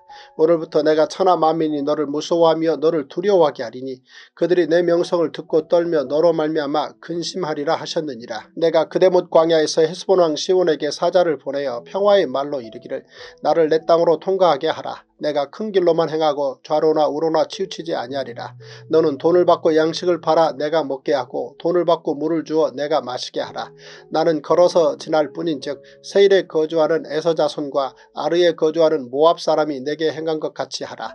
그리하면 내가 요단을 건너서 우리 하나님 여호와께서 우리에게 주시는 땅에 이르리라 하였으나 헤스본 왕 시월이 우리가 통과하기를 허락하지 아니하였으니 이는 내 하나님 여호와께서 그를 내 손에 넘기시려고 그의 성품을 완강하게 하셨고 그의 마 음을 완고하게 하셨음이 오늘날과 같으니라. 그때 여호와께서 내게 이르시되 내가 이제 시온과 그의 땅을 내게 넘기노니 너는 이제부터 그의 땅을 차지하여 기업으로 삼으라 하시더니 시온이 그의 모든 백성을 거느리고 나와서 우리를 대적하여 야하스에서 싸울 때에 우리 하나님 여호와께서 그를 우리에게 넘기심에 우리가 그와 그의 아들들과 그의 모든 백성을 쳤고 그때 우리가 그의 모든 성읍을 점령하고 그의 각 성읍을 그 남녀와 유아와 함께 하나도 남기지 아니하고 진멸하였고 다만 그 가축과 성읍에서 탈취한 것은 우리의 소유로 삼았으며 우리 하나님 여호와께서 그 모든 땅을 우리에게 넘겨주심으로 아루논 골짜기 가장자리에 있는 아로엘과 골짜기 가운데 있는 성읍으로부터 길르앗까지 우리가 모든 높은 성읍을 점령하지 못한 것이 하나도 없었으나 오직 암몬족 속의 땅 야복 강가와 산지에 있는 성읍들과 우리 하나님 여호와께서 우리가 가기를 금하신 모든 곳은 내가 가까이 하지 못하였느니라. 제59일 신명기 3장 우리가 돌이켜 바산으로 올라가며 바산왕 오기 그의 모든 백성을 거느리고 나와서 우리를 대적하여 애드레이에서 싸우고자 하는지라. 여호와께서 내게 이르시되 그를 두려워하지 말라. 내가 그와 그의 모든 백성과 그의 땅을 내 손에 넘겼으니 내가 헤스본에 거주하던 아모리 족속의 왕 시온에게 행한 것과 같이 그에게도 행할 것이니라 하시고 우리 하나님 여호와께서 바산왕 옥과 그의 모든 백성을 우리 손에 넘기시며 우리가 그들을 쳐서 한 사람도 남기지 아니하였느니라 그때 우리가 그들에게서 빼앗지 아니한 성읍이 하나도 없이 다 빼앗았는데 그 성읍이 60이니 곧 아르곱 온 지방이요 바산에 있는 옥의 나라이니라. 그 모든 성읍이 높은 성벽으로 둘려있고 문과 빗장이 있어 견고하며 그 외에 성벽 없는 고울이 심이 많았느니라. 우리가 헤스본 왕 시온에게 행한 것과 같이 그 성읍들을 멸망시키되 각 성읍의 남녀와 유아를 멸망시켰으나 다만 모든 가축과 그 성읍들에서 탈취한 것은 우리의 소유로 삼았으며 그때 우리가 요단강 이쪽 땅을 아르논 골짜기에서부터 헤르몬 산에까지 아모리 족속의 두 왕 에게서 빼앗았으니 헤르몬 산을 시돈 사람은 시디온이라 부르고 아모리 족속은 스닐이라 불렀느니라. 우리가 빼앗은 것은 평원의 모든 성읍과 길라앗 온 땅과 바산의 온 땅곧 옥의 나라 바산의 성읍 살르가와 에드레이까지이니라. 너바임 족속의 남은 자는 바산왕 옥분이었으며 그의 침상은 철침상이라 아직도 암문 족속의 라빠에 있지 아니하냐. 그것을 사람의 보통 규빗으로 재면 그 길이가 아홉 규빗이요 너비가 네 규빗이니라. 그때 우리가 이 땅을 얻음에 아르논 골짜기 곁에 아로엘에서부터 길라앗 산지 절반과 그 성읍들을 내가 로벤 자손과 갓 자손에게 주었고 길라앗의 남은 땅과 옥의 나라였던 아르곱 온 지방 곧 온 바산으로는 내가 므낫세 반 지파에게 주었노라. 바산을 옛적에는 르바임의 땅이라 부르더니 므낫세의 아들 야일이 그술 족속과 마가 족속의 경계까지의 아르곱 온 지방을 점령하고 자기의 이름으로 이 바산을 오늘날까지 하봇 야일이라 불러오느니라. 내가 마길에게 길라앗을 주었고 루벤 자손과 갓 자손에게는 길라앗에서부터 아르논 골짜기까지 주었으되 그 골짜기의 중앙으로 지역을 정하였으니 곧 암몬 자손의 지역 얍복강까지며 또는 아라바와 요단과 그 지역이요 긴네렛에서 아라바 바다 곧 염해와 비스가 산기슭에 이르기까지의 동쪽 지역이니라. 그때 내가 너희에게 명령하여 이르기를 너희의 하나님 여호와께서 이 땅을 너희에게 주어 기업이 되게 하셨은즉 너희의 군인들은 무장하고 너희의 형제 이스라엘 자손의 선복이 되어 건너가되 너희에게 가축이 많은 줄 내가 아노니 너희의 처자와 가축은 내가 너희에게 준 성읍에 머무르게 하라. 여호와께서 너희에게 주신 것 같이 너희의 형제에게도 안식을 주시리니 그들도 요단 저쪽에서 너희의 하나님 여호와께서 그들에게 주시는 땅을 받아 기업을 삼기에 이르거든 너희는 각기 내가 준 기업으로 돌아갈 것이니라 하고 그때 내가 여호수아에게 명령하여 이르기를 너희의 하나님 여호와께서 이 두 왕에게 행하신 모든 일을 내 눈으로 보았거니와 내가 가는 모든 나라에도 여호와께서 이와 같이 행하시리니 너희는 그들을 두려워하지 말라. 너희의 하나님 여호와께서 친히 너희를 위하여 싸우시리라 하였노라. 그때 내가 여호와께 간구하기를 주 여호와여 주께서 주의 크심과 주의 권능을 주의 종에게 나타내시기를 시작하셨사오니 천지간에 어떤 신이 능히 주께서 행하신 일 곧 주의 큰 능력으로 행하신 일같이 행할 수 있으리이까 고아옵나니 나를 건너가게 하사 요단 저쪽에 있는 아름다운 땅 아름다운 산과 레바논을 보게 하옵소서 하되 여호와께서 너희 때문에 내게 진노하사 내 말을 듣지 아니하시고 내게 이르시기를 그만해도 족하니 이 일로 다시 내게 말하지 말라. 너는 비스가 산 꼭대기에 올라가서 눈을 들어 동서남북을 바라고 내 눈으로 그 땅을 바라보라. 너는 이 요단을 건너지 못할 것임이니라. 너는 여호수아에게 명령하고 그를 담대하게 하며 그를 강하게 하라. 그는 이 백성을 거느리고 건너가서 내가 볼 땅을 그들이 기업으로 얻게 하리라 하셨느니라. 그때 우리가 벳볼 맞은편 골짜기에 거주하였느니라. 신명기 4장 이스라엘아 이제 내가 너희에게 가르치는 규례와 법도를 듣고 준행하라. 그리하면 너희가 살 것이요 너희 조상의 하나님 여호와께서 너희에게 주시는 땅에 들어가서 그것을 얻게 되리라. 내가 너희에게 명령하는 말을 너희는 가감하지 말고 내가 너희에게 내리는 너희 하나님 여호와의 명령을 지키라. 여호와께서 바알 부올의 일로 말미암아 행하신 바를 너희가 눈으로 보았거니와 바알 부올을 따른 모든 사람을 너희 하나님 여호와께서 너희 가운데에서 멸망시키셨으되 오직 너희의 하나님 여호와 여호와께 붙어 떠나지 않은 너희는 오늘까지 다 생존하였느니라. 내가 나의 하나님 여호와께서 명령하신 대로 규례와 법도를 너희에게 가르쳤나니 이는 너희가 들어가서 기업으로 차지할 땅에서 그대로 행하게 하려 함인즉 너희는 지켜 행하라. 이것이 여러 민족 앞에서 너희의 지혜요 너희의 지식이라. 그들이 이 모든 규례를 듣고 이르기를 이 큰 나라 사람은 과연 지혜와 지식이 있는 백성이로다 하리라. 우리 하나님 여호와께서 우리가 그에게 기도할 때마다 우리에게 가까이 하심과 같이 그 신이 가까이 함을 얻은 큰 나라가 어디 있느냐. 오늘 내가 너에게 선포하는 이 율법과 같이 그 규례와 법도가 공유로운 큰 나라가 어디 있느냐. 오직 너는 스스로 삼가며 내 마음을 힘써 지키라. 그리하여 내가 눈으로 본 그 일을 잊어버리지 말라. 내가 생존하는 날 동안에 그 일들이 내 마음에서 떠나지 않도록 조심하라. 너는 그 일들을 내 아들들과 내 손자들에게 알게 하라. 내가 호랩산에서 내 하나님 여호와 앞에 섰던 날에 여호와께서 내게 이르시기를 나에게 백성을 모으라. 내가 그들에게 내 말을 들려주어 그들이 세상에 사는 날 동안 나를 경외함을 배우게 하며 그 자녀에게 가르치게 하리라 하시매 너희가 가까이 나와서 산 아래에 서니 그 산에 불이 붙어 불길이 충천하고 어둠과 구름과 흑암이 덮였는데 여호와께서 불길 중에서 너희에게 말씀하시되 음성뿐이므로 너희가 그 말소리만 듣고 형상은 보지 못하였느니라 여호와께서 그의 언약을 너희에게 반포하시고 너희에게 지키라 명령하셨으니 곧 십계명이며 두 돌판에 친히 쓰신 것이라 그때 여호와께서 내게 명령하사 너희에게 규례와 법도를 교훈하게 하셨나니 이는 너희가 거기로 건너가 받을 땅에서 행하게 하려 하심이니라. 여호와께서 호랩산 불길 중에서 너에게 말씀하시던 날에 너희가 어떤 형상도 보지 못하였은즉 너희는 깊이 삼가라. 그리하여 스스로 부패하여 자기를 위해 어떤 형상대로든지 우상을 새겨 만들지 말라. 남자의 형상이든지 여자의 형상이든지 땅 위에 있는 어떤 짐승의 형상이든지 하늘을 나는 날개 가진 어떤 새의 형상이든지 땅 위에 기는 어떤 곤충의 형상이든지 땅 아래 물속에 있는 어떤 어족의 형상이든지 만들지 말라.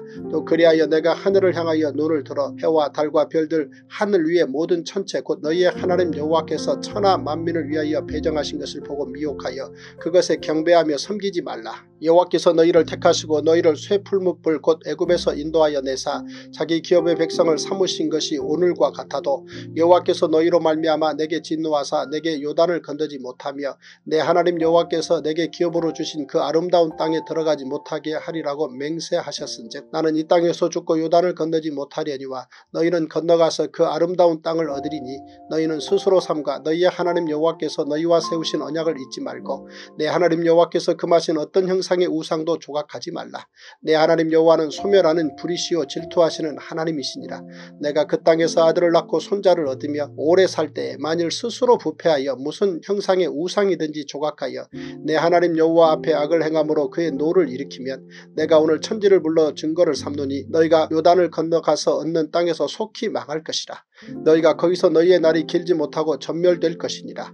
여호와께서 너희를 여러 민족 중에 흩으실 것이요 여호와께서 너희를 쫓아 보내실 그 여러 민족 중에 너희의 남은 수가 많지 못할 것이며 너희는 거기서 사람의 손으로 만든 바 보지도 못하며 듣지도 못하며 먹지도 못하며 냄새도 맡지 못하는 목석의 신들을 섬기리라.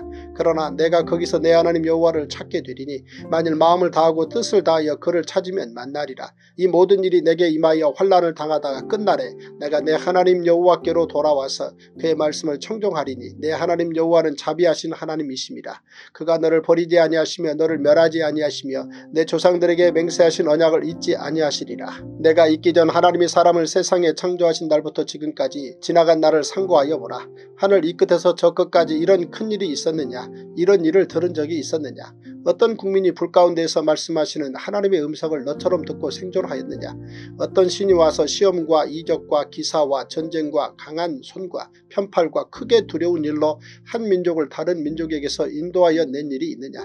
이는 다 너희의 하나님 여호와께서 애굽에서 너희를 위하여 너희의 목전에서 행하신 일이라. 이것을 내게 나타내심은 여호와는 하나님이시요. 그 외에는 다른 신이 없음을 내게 알게 하려 하심이니라 여호와께서 너를 교훈하시려고 하늘에서부터 그의 음성을 내게 듣게 하시며 땅에서는 그의 큰 불을 내게 보이시고 내가 불 가운데서 나오는 그의 말씀을 듣게 하셨느니라. 여호와께서 내 조상들을 사랑하신 고로 그 후손인 너를 택하시고 큰 권능으로 친히 인도하여 애굽에서 나오게 하시며 너보다 강대한 여러 민족을 내 앞에서 쫓아내고 너를 그들의 땅으로 인도하여 들여서 그것을 내게 기업으로 주려 하심이 오늘과 같으니라. 그런즉 너는 오늘 위로 하늘에나 아래로 땅에 오직 여호와 는 하나님이시요 다른 신이 없는 줄을 알아 명심하라 순종하고 오늘 내가 내게 명령하는 여호와의 규례와 명령을 지키라. 너와 내 후손이 복을 받아 내 하나님 여호와께서 내게 주시는 땅에서 한없이 오래 살리라. 그때 모세가 요단 이쪽 해돋는 쪽에서 새 성읍을 구별하였으니 이는 과거에 원한이 없이 부지 중에 살인한 자가 그곳으로 도피하게 하기 위함이며 그중 한 성읍으로 도피한 자가 그의 생명을 보존하게 하기 위함이라. 하나는 광야 평원에 있는 베셀이라. 루벤 지파를 위한 것이요 하나 는 길랏 라못이라 갓 지파를 위한 것이요 하나는 바산 골란이라 문하세 지파를 위한 것이었더라. 모세가 이스라엘 자손에게 선포한 율법은 이러하니라. 이스라엘 자손이 애굽에서 나온 후에 모세가 증언과 규례와 법도를 선포하였으니 요단 동쪽 벳볼 맞은편 골짜기에서 그리하였더라. 이 땅은 헤스본에 사는 아모리 족속의 왕 시온에게 속하였더니 모세와 이스라엘 자손이 애굽에서 나온 후에 그를 쳐서 멸하고 그 땅을 기업으로 얻었고 또 바산왕 옥의 땅을 얻었으니 그 두 사람은 아모리 족속의 왕으로서 요단 이쪽 해돋는 쪽에 살았으며 그 얻은 땅은 아르논 골짜기 가장자리 아로엘에서부터 시온산 곧 헤르몬산까지요 요단 이쪽 곧 그 동쪽 온 아라바니 비스가 기스가 아래 아라바의 바다까지이니라. 제61 신명기 5장 모세가 온 이스라엘을 불러 그들에게 이르되 이스라엘아 오늘 내가 너희의 귀에 말하는 규례와 법도를 듣고 그것을 배우며 지켜 행하라. 우리 하나님 여호와께서 호렙산에서 우리와 언약을 세우셨나니 이 언약은 여호와께서 우리 조상들과 세우신 것이 아니요 오늘 여기 살아있는 우리 곧 우리와 세우신 것이라. 여호와께서 산 위 불 가운데에서 너희와 대면하여 말씀하시매 그때 너희가 불을 두려워하여 산에 오르지 못하므로 내가 여호와와 너희 중간에 서서 여호와의 말씀을 너희에게 전하였노라. 여호와께서 이르시되 나는 너를 애굽 땅 종되었던 집에서 인도하여 낸 내 하나님 여호와라. 나 외에는 다른 신들을 내게 두지 말지니라. 너는 자기를 위하여 새긴 우상을 만들지 말고 위로 하늘에 있는 것이나 아래로 땅에 있는 것이나 땅 및 물속에 있는 것에 어떤 형상도 만들지 말며 그것들에게 절하지 말며 그것들을 섬기지 말라. 나 내 하나님 여호와는 질투하는 하나님인즉 나를 미워하는 자의 죄를 갚되 아버지로부터 아들에게로 3, 4대까지 이르게 하거니와 나를 사랑하고 내 계명을 지키는 자에게는 천대까지 은혜를 베푸느니라. 너는 내 하나님 여호와의 이름을 망령되이 일컫지 말라. 나 여호와는 내 이름을 망령되이 일컫는 자를 죄 없는 줄로 인정하지 아니하리라. 내 하나님 여호와가 내게 명령한 대로 안식일을 지켜 거룩하게 하라. 엿새 동안은 힘써 내 모든 일을 행할 것이나 일곱째 날은 내 하나님 여호와의 안식일인즉 너나 내 아들이나 내 딸이나 내 남종이나 내 여종이나 내 소나 내 나귀나 내 모든 가축이나 내 문 안에 유하는 객이라도 아무 일도 하지 못하게 하고 내 남종이나 내 여종에게 너같이 안식하게 할지니라. 너는 기억하라. 내가 애굽 땅에서 종이 되었더니 내 하나님 여호와가 강한 손과 편팔로 거기서 너를 인도하여 내었나니 그러므로 내 하나님 여호와가 내게 명령하여 안식일을 지키라 하느니라. 너는 내 하나님 여호와께서 명령한 대로 내 부모를 공경하라. 그리하면 내 하나님 여호와가 내게 준 땅에서 내 생명이 길고 복을 누리리라. 살인하지 말지니라. 가늠하지 말지니라. 도둑질하지 말지니라. 내 이웃에 대하여 거짓 증거하지 말지니라. 내 이웃의 아내를 탐내지 말지니라. 내 이웃의 집이나 그의 밭이나 그의 남종이나 그의 여종이나 그의 소나 그의 나귀나 내 이웃의 모든 소유를 탐내지 말지니라. 여호와께서 이 모든 말씀을 산의 불 가운데 구름 가운데 흑암 가운데에서 큰 음성으로 너희 총회에 이르신 후에 더 말씀하지 아니하시고 그것을 두 돌판에 써서 내게 주셨느니라 산이 불에 타며 캄캄한 가운데서 나오는 그 소리를 너희가 듣고 너희 지파의 수령과 장로들이 내게 나와 말하되 우리 하나님 여호와께서 그의 영광과 위엄을 우리에게 보이심에 불 가운데에서 나오는 음성을 우리가 들었고 하나님이 사람과 말씀하시되 그 사람이 생존하는 것을 오늘 우리가 보았나이다. 이제 우리가 죽을 까닭이 무엇이니까 이 큰 불이 우리를 삼킬 것이요 만일 우리가 우리 하나님 여호와의 음성을 다시 들으면 죽을 것이라. 육신을 가진 자로서 우리처럼 살아계시는 하나님의 음성이 불 가운데 에서 바람을 듣고 생존한 자가 누구니이까? 당신은 가까이 나가서 우리 하나님 여호와께서 하시는 말씀을 다 듣고 우리 하나님 여호와께서 당신에게 이르시는 것을 다 우리에게 전하소서. 우리가 듣고 행하겠나이다 하였느니라. 여호와께서 너희가 내게 말할 때 너희가 말하는 소리를 들으신지라. 여호와께서 내게 이르시되 이 백성이 내게 말하는 그 말소리를 내가 들은즉 그 말이 다 옳도다. 다만 그들이 항상 이 같은 마음을 품어 나를 경외하며 내 모든 명령을 지켜서 그들과 그 자손이 영원히 복받기를 원하는 명하노라. 가서 그들에게 각기 장막으로 돌아가라 이르고 너는 여기 내 곁에 서 있으라. 내가 모든 명령과 규례와 법도를 내게 이르리니 너는 그것을 그들에게 가르쳐서 내가 그들에게 기업으로 주는 땅에서 그들에게 이것을 행하게 하라 하셨나니 그런즉 너희 하나님 여호와께서 너희에게 명령하신 대로 너희는 삼가 행하여 좌로나 우로나 치우치지 말고 너희 하나님 여호와께서 너희에게 명령하신 모든 도를 행하라. 그리하면 너희가 살 것이요 복이 너희에게 있을 것이며 너희가 차지한 땅에서 너희의 날이 길리라. 신명기 6장 이는 곧 너희의 하나님 여호와께서 너희에게 가르치라고 명하신 명령과 규례와 법도라. 너희가 건너가서 차지할 땅에서 행할 것이니 곧 너와 내 아들과 내 손자들이 평생에 내 하나님 여호와를 경외하며 내가 너희에게 명한 그 모든 규례와 명령을 지키게 하기 위한 것이며 또 내 나를 장구하게 하기 위한 것이라. 이스라엘아 듣고 삼가 그것을 행하라. 그리하면 내가 복을 받고 내 조상들의 하나님 여호와께서 내게 허락하심 같이 적과 꿀이 흐르는 땅에서 내가 크게 번성하리라. 이스라엘아 들으라 우리 하나님 여호와는 오직 유일한 여호와이시니 너는 마음을 다하고 뜻을 다하고 힘을 다하여 내 하나님 여호와를 사랑하라. 오늘 내가 내게 명하는 이 말씀을 너는 마음에 새기고 내 자녀에게 부지런히 가르치며 집에 앉았을 때에든지 길을 갈 때에든지 누워 있을 때에든지 일어날 때에든지 이 말씀을 강론할 것이며 너는 또 그것을 내 손목에 매어 기호를 삼으며 내 미간에 붙여 표로 삼고 또 내 집 문설주와 바깥문에 기록할지니라. 내 하나님 여호와께서 내 조상 아브라함과 이삭과 야곱을 향하여 내게 주리라 맹세하신 땅으로 너를 들어가게 하시고 내가 건축하지 아니한 크고 아름다운 성읍을 얻게 하시며 내가 채우지 아니한 아름다운 물건이 가득한 집을 얻게 하시며 내가 파지 아니한 우물을 차지하게 하시며 내가 심지 아니한 포도원과 감람나무를 차지하게 하사 내게 배불리 먹게 하실 때에 너는 조심하여 너를 애굽 땅 종도했던 집에서 인도하여 내신 여호와를 잊지 말고 내 하나님 여호와를 경외하며 그를 섬기며 그의 이름으로 맹세할 것이니라.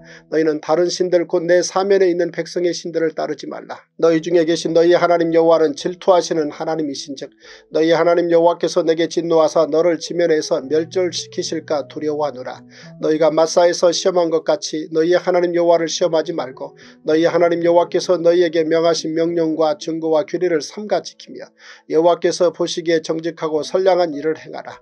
그리하면 내가 복을 받고 그 땅에 들어가서 여호와께서 모든 대적을 내 앞에서 쫓아내시겠다고 내 조상들에게 맹세하신 아름다운 땅을 차지하리니 여호와의 말씀과 같으니라.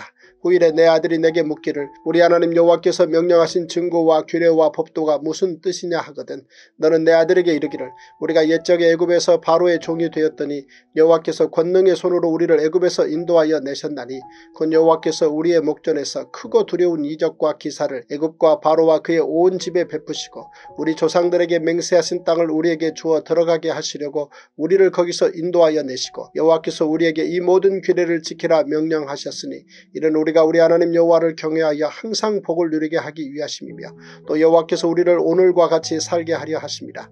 우리가 그 명령하신 대로 이 모든 명령을 우리 하나님 여호와 앞에서 삼가 지키면 그것이 곧 우리의 의로움이니라 할지니라.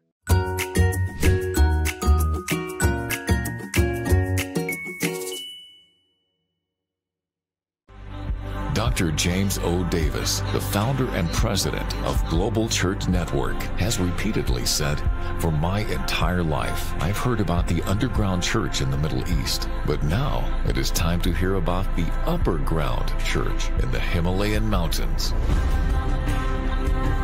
The Himalayan mountains are 1,500 miles wide, ranging from Bhutan to Nepal, India, Pakistan, and Afghanistan.